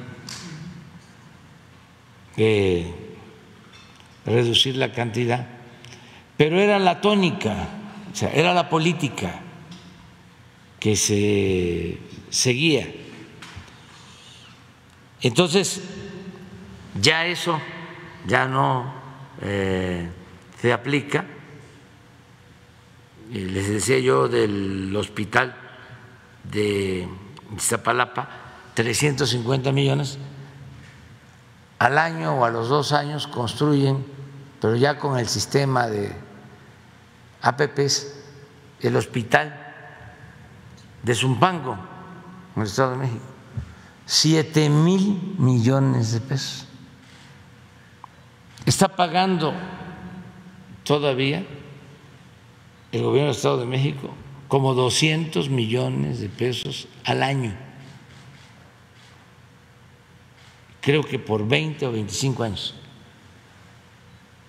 Para un hospital igual, de 350 millones a 7 mil millones. Eh, entonces, ese era un mecanismo que se aplicaba. Estoy seguro que en el caso de los trenes, por lo que me estás planteando, pues Hacienda lo recomendó de esa manera y creo que la actual jefa de gobierno va a buscar una reestructuración de ese contrato. Señor presidente, y es que además de este mecanismo que se utilizó de PPS, incluso, por ejemplo, como un, dato, se creó una empresa, Provetren, apenas cuatro meses antes de que le dieran el contrato, el contrato junto con CAF, con un capital de 50 mil pesos para manejar pues miles de millones de pesos que hasta la fecha, bueno, pues se le tienen que seguir pagando. Y recordar, señor presidente, que estos funcionarios fueron investigados, fueron inhabilitados y se les encontró responsables precisamente de la comisión de estas irregularidades. Sin embargo, eh, prescribieron, el, prescribió este, la irregularidad el probable delito y por lo tanto quedaron, digamos que sin sanción, no porque hubieran resultado exonerados o inocentes de la investigación que se hizo, sino porque prescribió este probable eh, delito. Eh, y por eso la pregunta, señor presidente, sobre si no se tendría que revisar en la propia Secretaría de Relaciones Exteriores. Es que sería en todo el gobierno, era la política que había. Todos pero no solo los altos funcionarios públicos, empezando por los presidentes, porque ni modo que el presidente no sabía. Gracias, quien señor estuviese, pero espérate, este, también hay que, este, ahora, esto es una recomendación fraterna, respetuosa, ¿no? Que no quiere, eh, que, que no, no, no, no, no, busca de ninguna manera este, limitar la libertad de expresión. Aquí mm, se permite todo. Nada más que acuérdense de que ya estamos en víspera, un poco anticipadas, pero ya estamos en víspera de elecciones. ¿sí? Entonces, cuando se señala a personas, pues, este, hay que procurar ¿sí? que no sea porque eh, tengan posibilidad de ser candidatos o aspirar a cargos. Ustedes son serios en sus investigaciones, pero este, siempre en la historia de México la sucesión presidencial eh, levanta muchas pasiones. Los fines de sexenios, cuando se van a dar los cambios. Entonces, vamos eh, todos a ser muy profesionales, muy objetivos y no eh, entrarle a la politiquería. Es una recomendación respetuosa, nada más. Este, pero con toda la libertad que tiene. Sí, entendemos esa parte que existe, por supuesto que existe esta parte también, sin embargo, bueno, pues el expediente ahí está. Sí, y hay que hablar, pero digo, este, tomar en cuenta eso, ¿no? Eh, como se dice en la literatura, no hay texto sin contexto. Así es, señor presidente. En otro tema, eh, señor presidente, bueno, hace algunas semanas el normalismo rural cumplió 100 años. 100 años de que, eh, impulsadas por eh, la Revolución Mexicana, generaron un modelo que hoy sigue vigente y que es prácticamente uno de los, de los pocos modelos que ha generado el Estado mexicano, la sociedad mexicana en su conjunto, un modelo que fue a contracorriente desde que dejó Lázaro Cárdenas la presidencia de la República, el, el presidente que más apoyó estas escuelas fue siempre ya contracorriente porque el modelo chocaba ya sobre todo con el modelo neoliberal pues de manera frontal, en el sentido que mientras el modelo neoliberal considera que la educación es un servicio por el cual, que, por el cual hay que pagar, las normales rurales, por el contrario, dicen la educación es un derecho y los estudiantes tienen que tener garantizadas becas, manutención, comedor, etcétera, para una formación integral. Realmente a contracorriente eh, eh, sobrevivieron con muchísimos trabajos en precariedad eh, absoluta Usted ha reivindicado varias veces el papel de las normales rurales, ha señalado la, pues, la propia herencia que han tenido para la alfabetización del pueblo mexicano. Sin embargo, señor presidente, pues hoy todavía en plena 4T, eh, estudiantes tienen que movilizarse para que se publique la convocatoria de ingreso, para que se les respete el comedor, eh, para que haya, para que se les compre un camión. Es, por ejemplo, el caso de Teteles actualmente, quien precisamente Teteles Puebla, por haberse movilizado, hoy enfrentan tres carpetas, se han abierto tres carpetas de investigación en contra de 44 estudiantes, la mayoría mujeres, 36 mujeres, y también se han abierto 24 procedimientos administrativos, precisamente a raíz de las movilizaciones que habían tenido.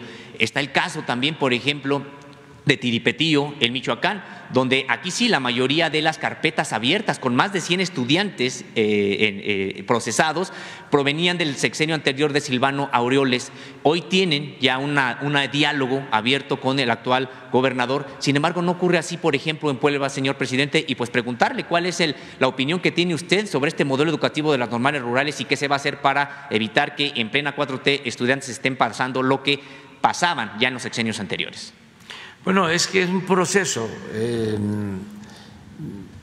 hay en el gobierno, eh, como sucedió durante el gobierno de Juárez, que tenía el mejor gabinete que ha habido en la historia de México. Se decía en ese entonces hombres, y ahora hay que agregarle mujeres y hombres, pero en aquel entonces hombres que parecían gigantes, todos. Y habían posturas, ahí nada más dos, no habían conservadores, pero sí habían liberales moderados y liberales radicales. Como Monfort, por ejemplo, era un liberal moderado, Ocampo era radical, y así, en todos los gobiernos.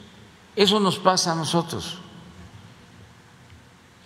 Además, estamos en un proceso de transición. Fueron 36 años de predominio de una política ¿Qué querían, por ejemplo, en el caso de las normales rurales? Desaparecerlas. ¿Qué no el señor Chong, siendo gobernador de Hidalgo, desapareció el Meche? Y seguramente, pues él que venía de abajo, porque no era un aristócrata, pues lo pensó, porque ni modo que fuese tan insensible para no entender de que era la oportunidad que tenían los hijos de los campesinos, los hijos de los pobres, para poder tener una carrera, un trabajo, una profesión, pero seguramente se lo ordenaron. Y como antes era el, sí señor, ¿qué horas son las que usted quiera que sea, señor? La disciplina. Entonces, para poder escalar, se necesitaba decir sí a todo. Entonces, ese era el ambiente, pero eso tardó 36 años. Si por eso ahora con la transformación hay unos que están desconcertados. Imagínense cómo están los periodistas que vivían al amparo del régimen o los jefes que esto pues ha significado un cambio. Bueno, quedan todavía, porque es un proceso, el de la transformación, quedan polvos de aquellos lodos en pues nuestro gobierno. De hecho, eh, esta criminalización de estudiantes ocurre mediante un gobierno pues que emanado del Movimiento de Regeneración Nacional allá en Puebla. Sí, sí, quedan. Pero vamos a seguir entre todos impulsando el cambio a pesar de los obstáculos. ¿Y qué decirle a, los- a estas estudiantes que son mujeres, la mayoría que están precisamente en esta situación? que cuentan conmigo, que tienen el apoyo del presidente y que estoy a favor de las escuelas normales, rurales, y que estoy a favor de las becas y de los apoyos a los estudiantes pobres, porque yo recorro todo México y sé que los hijos de campesinos, para poder estudiar una carrera, la mayoría, los que tienen posibilidad, van a Chapingo, porque ahí tienen becas. Pero estoy hablando de hijos de campesinos de Oaxaca, de Guerrero, los muchachos desaparecidos de Ayotzinapa, puro hijo de campesino, pobre, de Guerrero, de Oaxaca y de otras partes. Entonces, yo estoy con ellos. Nada más que eh, todavía hay esas inercias este, y tenemos que seguirlas haciendo a un lado y no rendirnos y seguir adelante. Y esas carpetas, eh, quitarlas y nada más que los jóvenes ayuden ¿sí? Eh, y que entiendan de que están abiertas las puertas, que hay diálogo, que parte de la nueva política educativa es que terminando la normal puedan tener entrada, este, su base, que no les falte. Esto me costó mucho al interior, porque eh, taladraron mucho la mente de quienes eh, planteaban de que se podía contratar a cualquiera y no necesariamente maestros y desaparecer a las escuelas normales porque además se consideraba de que eran escuelas en donde se creaba conciencia y que había que terminarlas.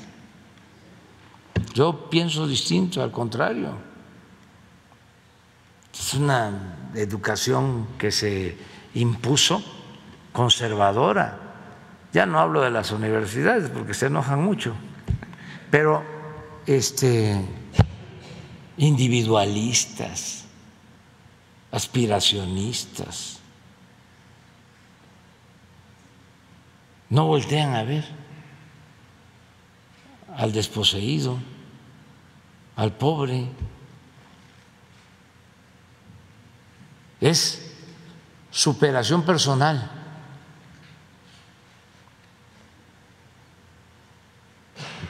Entonces, eh, yo estoy a favor del el lema de la Universidad Autónoma de la Ciudad de México, nada eh, humano me es ajeno. Finalmente, señor presidente, hace, bueno, hace algunas semanas también, el 25 de mayo, se cumplieron 15 años de la desaparición de dos militantes del Ejército Popular Revolucionario. Como usted sabe, el 25 de mayo de, aquel, año, un escuadrón de fusileros con 37 soldados y un oficial que los comandaba cercó un hotel para detener a estos dos eh, militantes que estaban ahí desarmados eh, eh, en trabajos políticos y pacíficos de, en el marco de la entonces Asamblea Popular de los Pueblos de Oaxaca. Estos estos eh, militantes del EPR fueron vistos precisamente por última vez por estos militares que se los llevaron y que eh, entonces gobernaba Felipe Calderón, eh, quien no solamente pudo ser consultado, sino él pudo haber ordenado incluso que les ocurriría a estos militantes en el sentido de que pues era un operativo que había involucrado incluso a cientos de policías también, además de los militares que rodearon ese pequeño, modesto hotel para detener a estos, eh, a estos militantes, del cual la propia Secretaría de la Defensa Nacional pues, ha reconocido que sí fue una partida de 37 eh, militares quienes los detuvieron. Eh, señor presidente, sin embargo, en ese entonces quien daba las órdenes y a quien le rendían cuentas era a Felipe Calderón.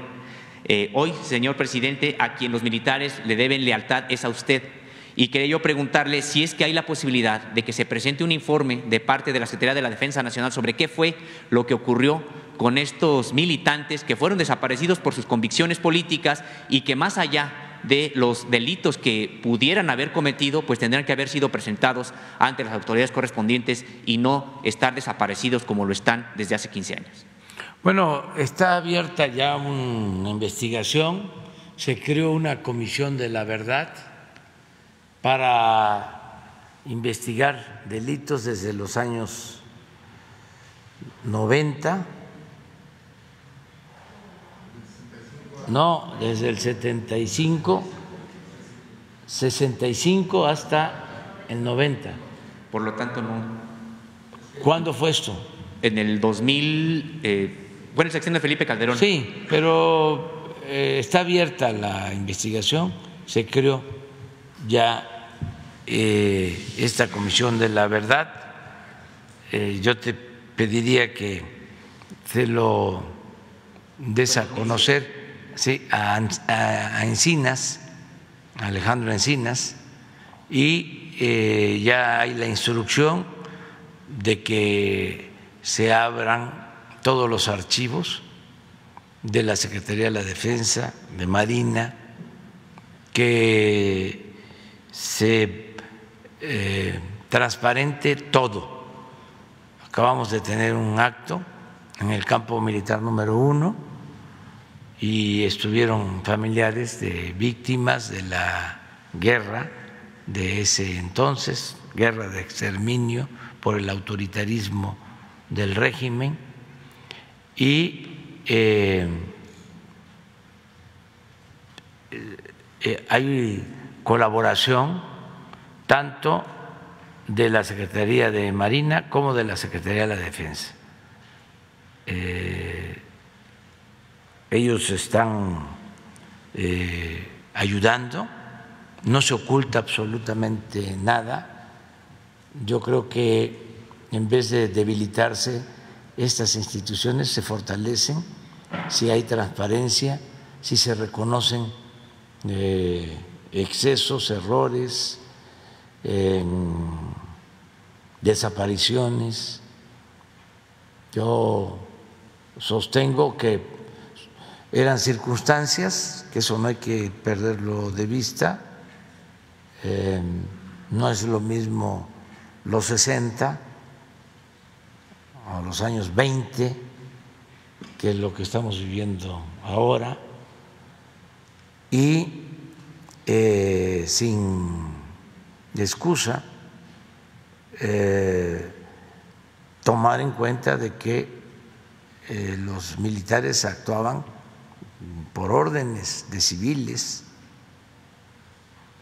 Y deberían eh, saber qué hicieron con ellos. Sí, y hay responsabilidades de, de civiles, pero este, hay una línea de mando eh, eso tomarlo en cuenta. Eh, yo siento que eh, en la medida de que se transparenten todos estos hechos vergonzosos, va a emerger y se va a poder demostrar con más claridad la importancia que ha tenido el ejército mexicano, eh, las Fuerzas Armadas, que eh, han ayudado mucho. Yo eh, defiendo a estas instituciones porque surgieron de un movimiento revolucionario, no son iguales que otros ejércitos, porque eh, somos muy dados a encasillar, a decir militarismo es igual en todos lados. No, el ejército mexicano se forma, el actual ejército, después del golpe de Estado contra Francisco y Madero. Y eh, es un ejército revolucionario. Y los soldados son pueblo uniformado. Y han ayudado mucho Incluso algo que se tiene que tomar en cuenta es un ejército nacionalista. Em, por eso, eh, en el caso de la defensa, no pudieron, cuando estaba en su apogeo la intromisión extranjera en México, porque lo permitieron los presidentes, no, no pudieron someter al ejército nacional. Entonces, es mejor la transparencia. A ver, estos fueron los errores que se cometieron. Eh, estas fueron actitudes ilegales, hay responsables, eh, que no haya olvido para que no se vuelvan a repetir esos hechos. Entonces, eh, esto que estás planteando eh, se tiene que analizar yo veo que hacia adelante va a haber un asunto complicado que tenemos que enfrentar todos los mexicanos, porque el juicio de García Luna, estás hablando del periodo de Calderón,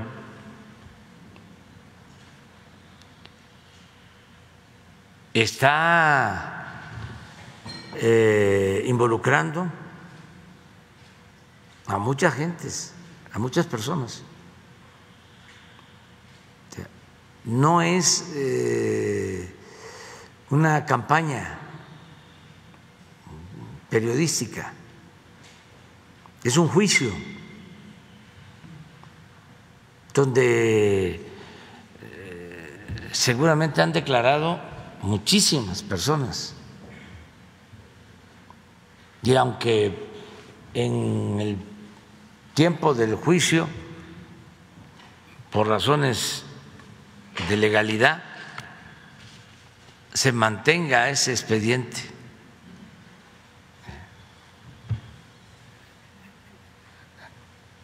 En el anonimato va a llegar el día en que se va a conocer todo. Por eso yo sostengo que es un asunto tan delicado que van a buscar darle largas. Parece que ya lo están haciendo. Entonces, este, eh, no quiere decir que todo lo que esté ahí sea cierto, pero es mucho lo que hay de denuncias. Y este esto también los tiene muy nerviosos, pero ahora sí como diría el mismo clásico, ¿no? Del conservadurismo. ¿Y yo por qué? Así es, ¿y yo por qué o a mí por qué? ¿Y yo por qué? ¿Y yo por qué? O sea, este, no, la lección mayor es que no se deben de querer resolver problemas sociales con el uso de la fuerza, con medidas coercitivas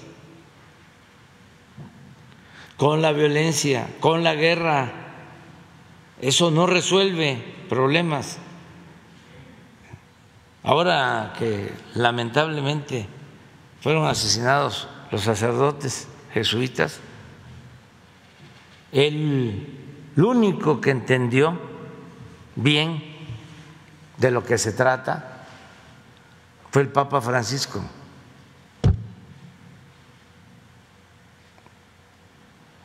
Si no fuese por el Papa Francisco, nosotros tendríamos una situación muy delicada, porque la Iglesia Católica eh, tiene un dirigente político espiritual Eh, auténtico, un verdadero pastor, un seguidor de Cristo,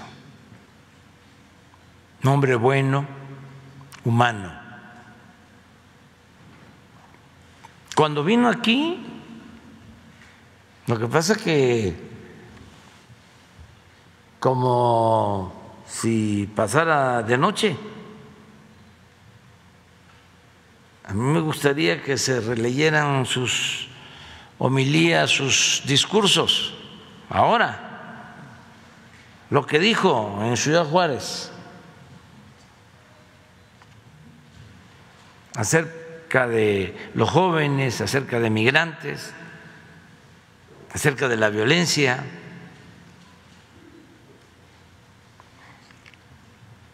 Y también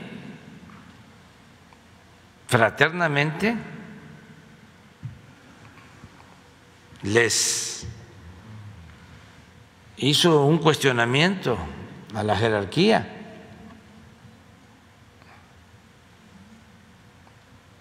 Pero esa política ha ayudado muchísimo en México, la política de Francisco del Papa Francisco. Mucho, mucho, mucho, mucho. Porque eh, la iglesia, yo diría todas las iglesias, todas, eh, han estado actuando con mucha responsabilidad. No es el grupo de Claudio X González. No, Claudio X qué? Sí. Sí, pero es el papá. Laporte. Claudio X González Laporte es el papá.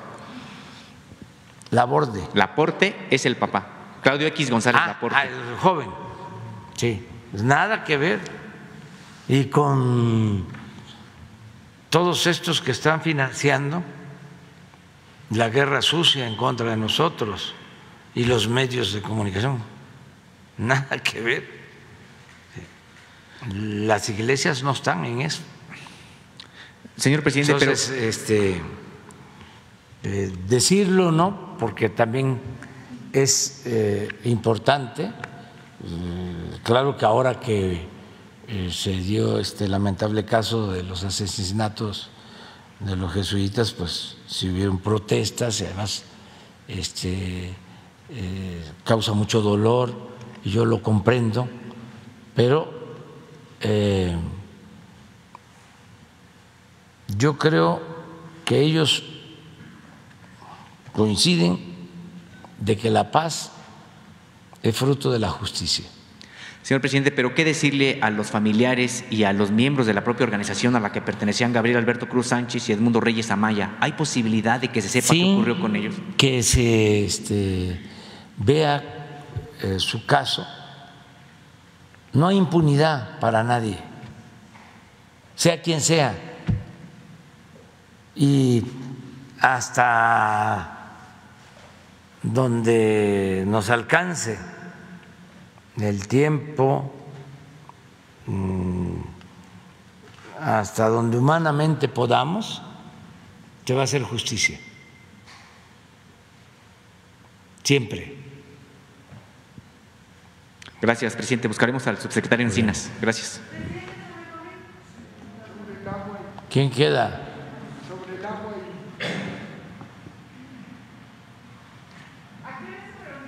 Muy buenos días, presidente. Este, Amir Ibrahim del Quintana Roo MX. Yo quiero tratar el tema del tren Maya, este, presidente. Eh, se avaló ya, eh, avaló Semarnam la mía del tramo 5, que fue uno de los fundamentos por lo que se otorgaron el amparo. Preguntarle, señor presidente, qué sigue, si tiene alguna noticia sobre ya cuándo vamos o cuándo se va a volver a empezar la construcción del tren. Y en el mismo tema del tren Maya, este, tuvimos acceso a una información, fuimos a Veracruz por unas denuncias que nos estaban haciendo unos este, transportistas respecto a, la logística que tienen para transportar el balasto.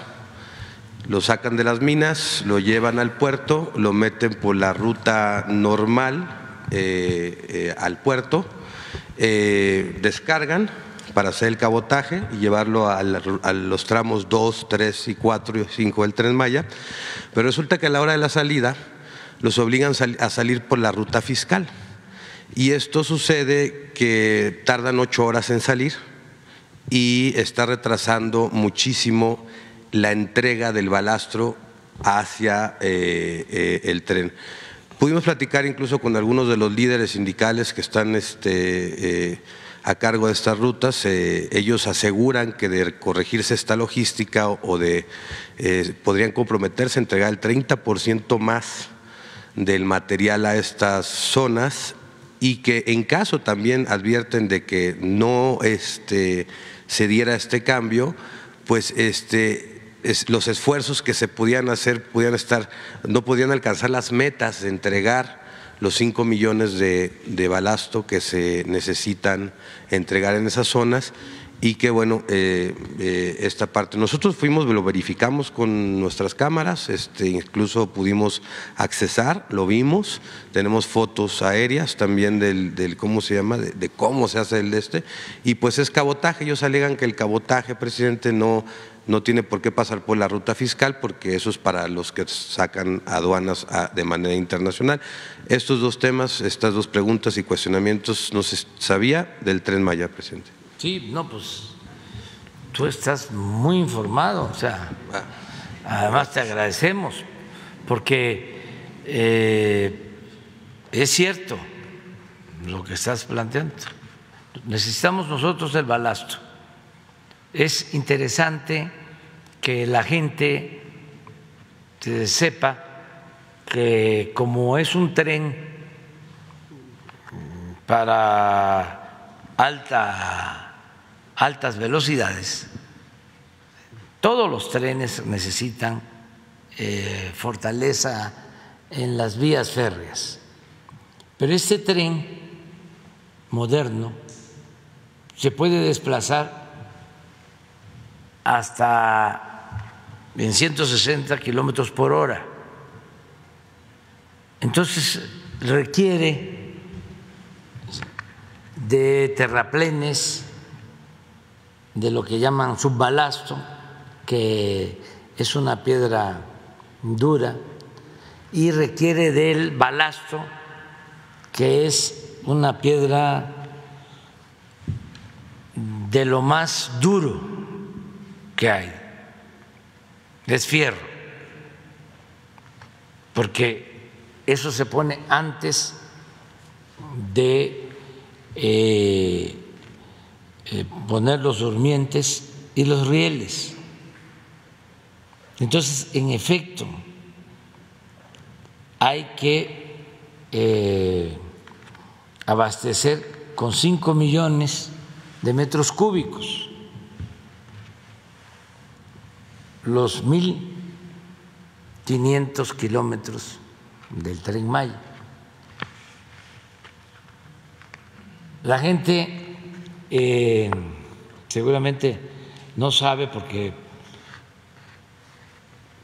para muchos este, son temas técnicos desconocidos. Esa piedra no se encuentra en todos lados, ese balazo. ¿Por qué no pones el plano del sureste? De hecho, son pioneros los que están sacando ahorita ese tipo de ahí en, en Veracruz. Para que vean lo que significa este estar haciendo esta gran obra y luego estar aguantando el zumbido de los mosquitos conservadores.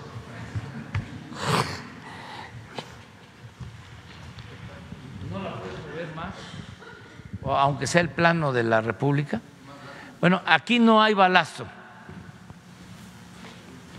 no hay, no existe esa piedra.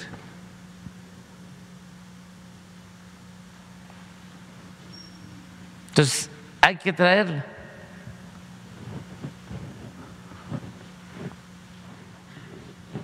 ¿Dónde hay? Sí, sí. Es hasta acá. Por la zona de Actopa, ¿no? Veracruz.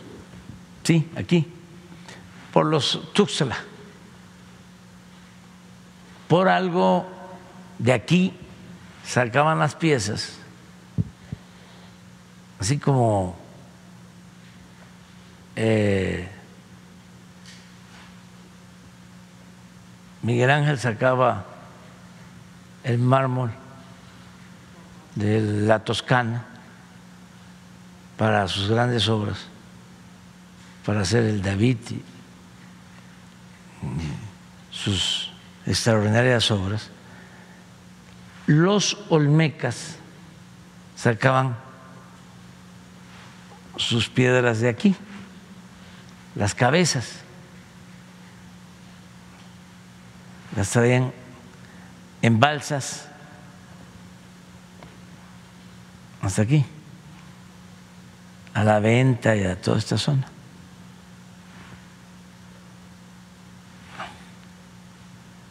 Bueno, solo hay aquí y el tren está acá.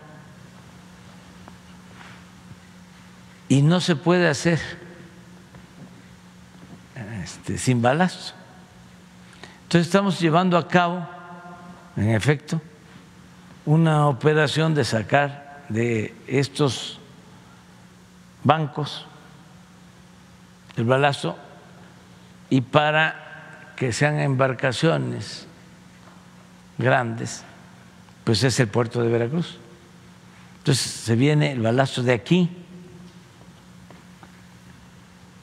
hasta progreso.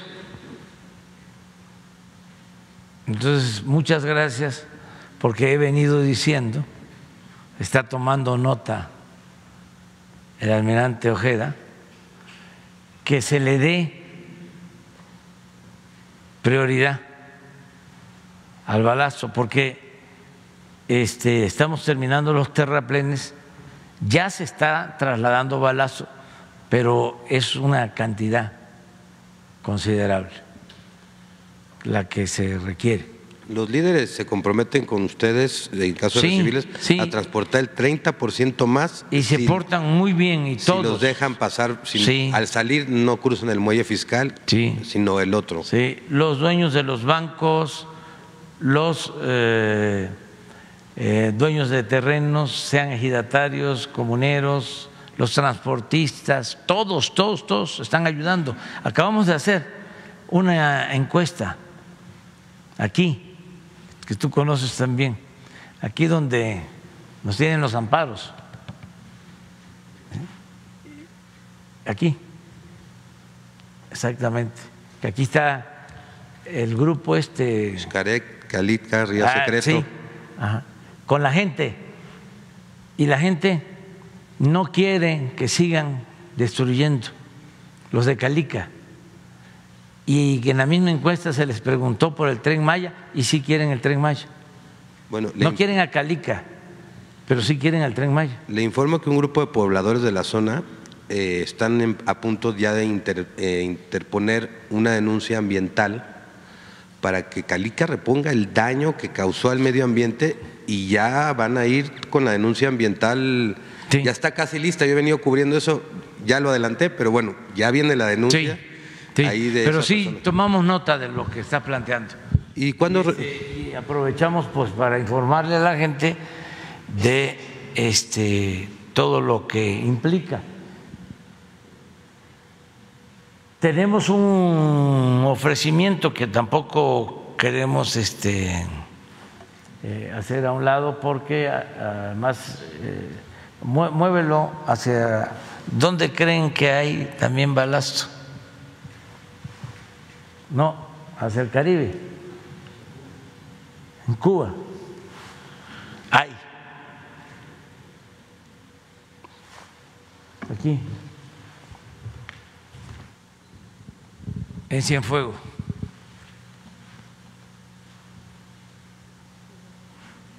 Y es para traerlo acá. Si no tuviésemos el problema con Calica,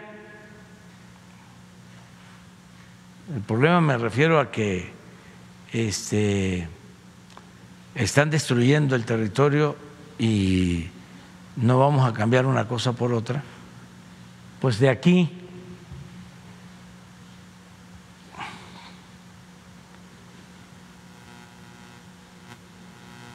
a aquí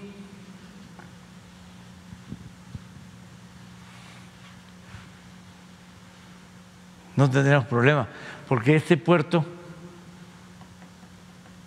de Calica tiene calado suficiente, tiene 12 metros, pero como tenemos aquí la denuncia porque están destruyendo, pues no podemos hacer tratos. Entonces, eh, si eh, por el tiempo y además Sí, por la necesidad de material, este, tendríamos que seguir con Veracruz y de aquí a progreso para poder terminar. En eso estamos. Los transportistas dicen que sí pueden llegar a la meta de 5 millones eh, Sí. si se arreglan este tipo de logísticas que les quitan un montón de Sí, se tiempo. están, y lo estamos haciendo. Lo estamos haciendo y, este, y se están portando muy bien los transportistas y toda la gente, pues, están ayudando. Pero qué bien que lo planteas porque este, ya el secretario de Marina va a tomar nota. Lo otro que era lo que planteó. Sobre si tenía fecha de, de, de, de cuándo vuelven a retomar los trabajos del Ah, Tren Maya en la Ruta 5. Está por resolverse amparo. lo de los amparos, no deben ya de demorar, no tienen razón de ser, este, son eh, amparos eh, para eh, parar la obra con propósitos políticos, es una gran obra que ayuda mucho a la gente. Este, por eso el pueblo mm, apoya al tren Maya la mayoría de la gente, los que están promoviendo los amparos, no son propietarios, no tienen este, ningún tipo de afectación, eh, se está cuidando el medio ambiente, no se está afectando eh, cenotes, ríos subterráneos, estamos cuidando el que no se destruya la naturaleza, estamos llevando a cabo todo un plan de reforestación. Nada más estos señores deberían de tomar en consideración que el gobierno de México, que nuestro país es el que más invierte en el mundo en reforestación. Ni Estados Unidos, ni Francia, ni China, ni Rusia, ningún país del mundo destina 1.500 millones de dólares al año para sembrar árboles. Nada más con eso.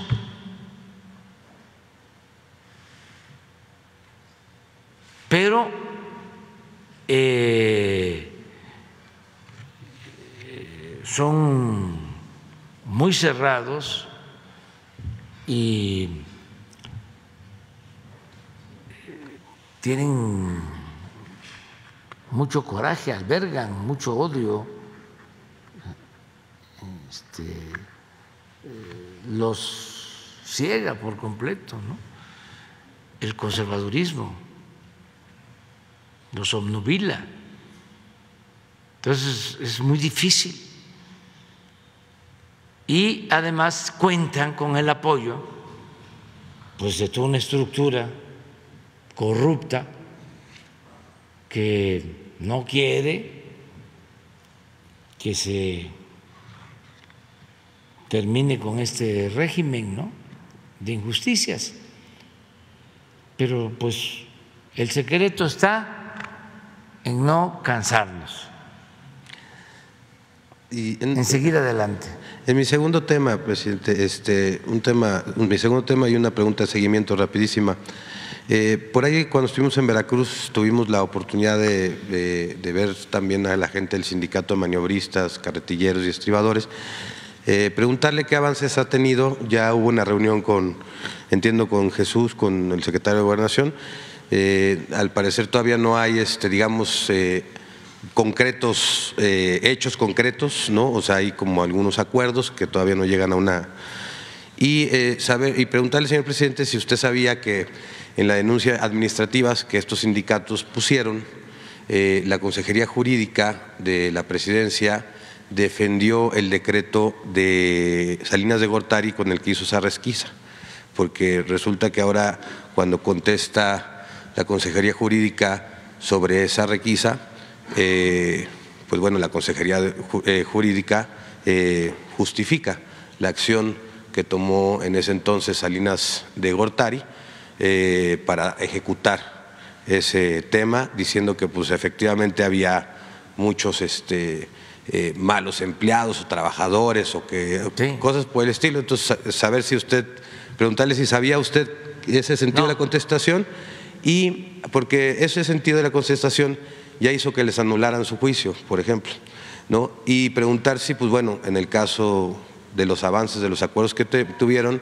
si usted está enterado de los acuerdos en los que llegaron y si pues ya va a haber hechos concretos y si me podría decir o informar, nos puede informar cuándo van a, hacer las acciones concretas? Bueno, yo creo que este, no estaba yo informado, pero yo creo que es una respuesta eh, legal, así nada más. Eh, hay que ver de qué se trata y ayudar en lo que se pueda eh, a los trabajadores revisar el caso con la consejera jurídica y con gobernación. este, sobre las pensiones y todo esto, no, no todavía no tenemos, no, no nos puede informar de fechas exactas. No, no, no, no puedo todavía, pero a ver qué podemos hacer. Bueno, muchas gracias, presidente. Ya, se nos acabó el tiempo. Me voy a reunir como a las eh, once y media con el embajador.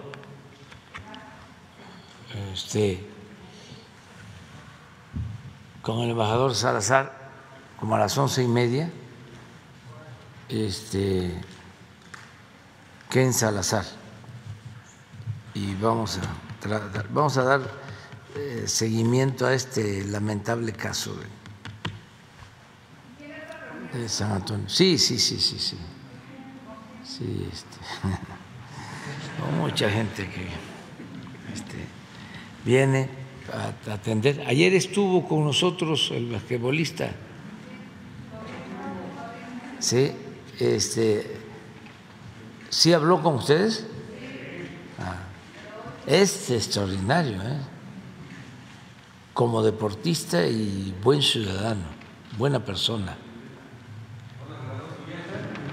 Me regaló uno, pero este eh, quedó en enviarme otro. Este es trajeron el trofeo y este y recordando a sus abuelos y no olvidan a México nuestros paisanos migrantes eso es muy este pues muy bueno. De mucha nobleza. Quieren mucho a nuestro país. Porque él es hijo de eh, padres mexicanos, de Michoacán, ¿sí? Y pues el básquetbol es de los deportes favoritos en Estados Unidos, como el fútbol americano, como el béisbol. Y mm, me decía que en San Francisco, cuando la celebración, eh, salieron los paisanos mexicanos con bandera también, y se bajó del carro y se fue caminando con ellos, y la gente feliz, nuestros paisanos allá con él. Sí. Y vamos a, a seguir impulsando el deporte. Bueno, nos vemos mañana.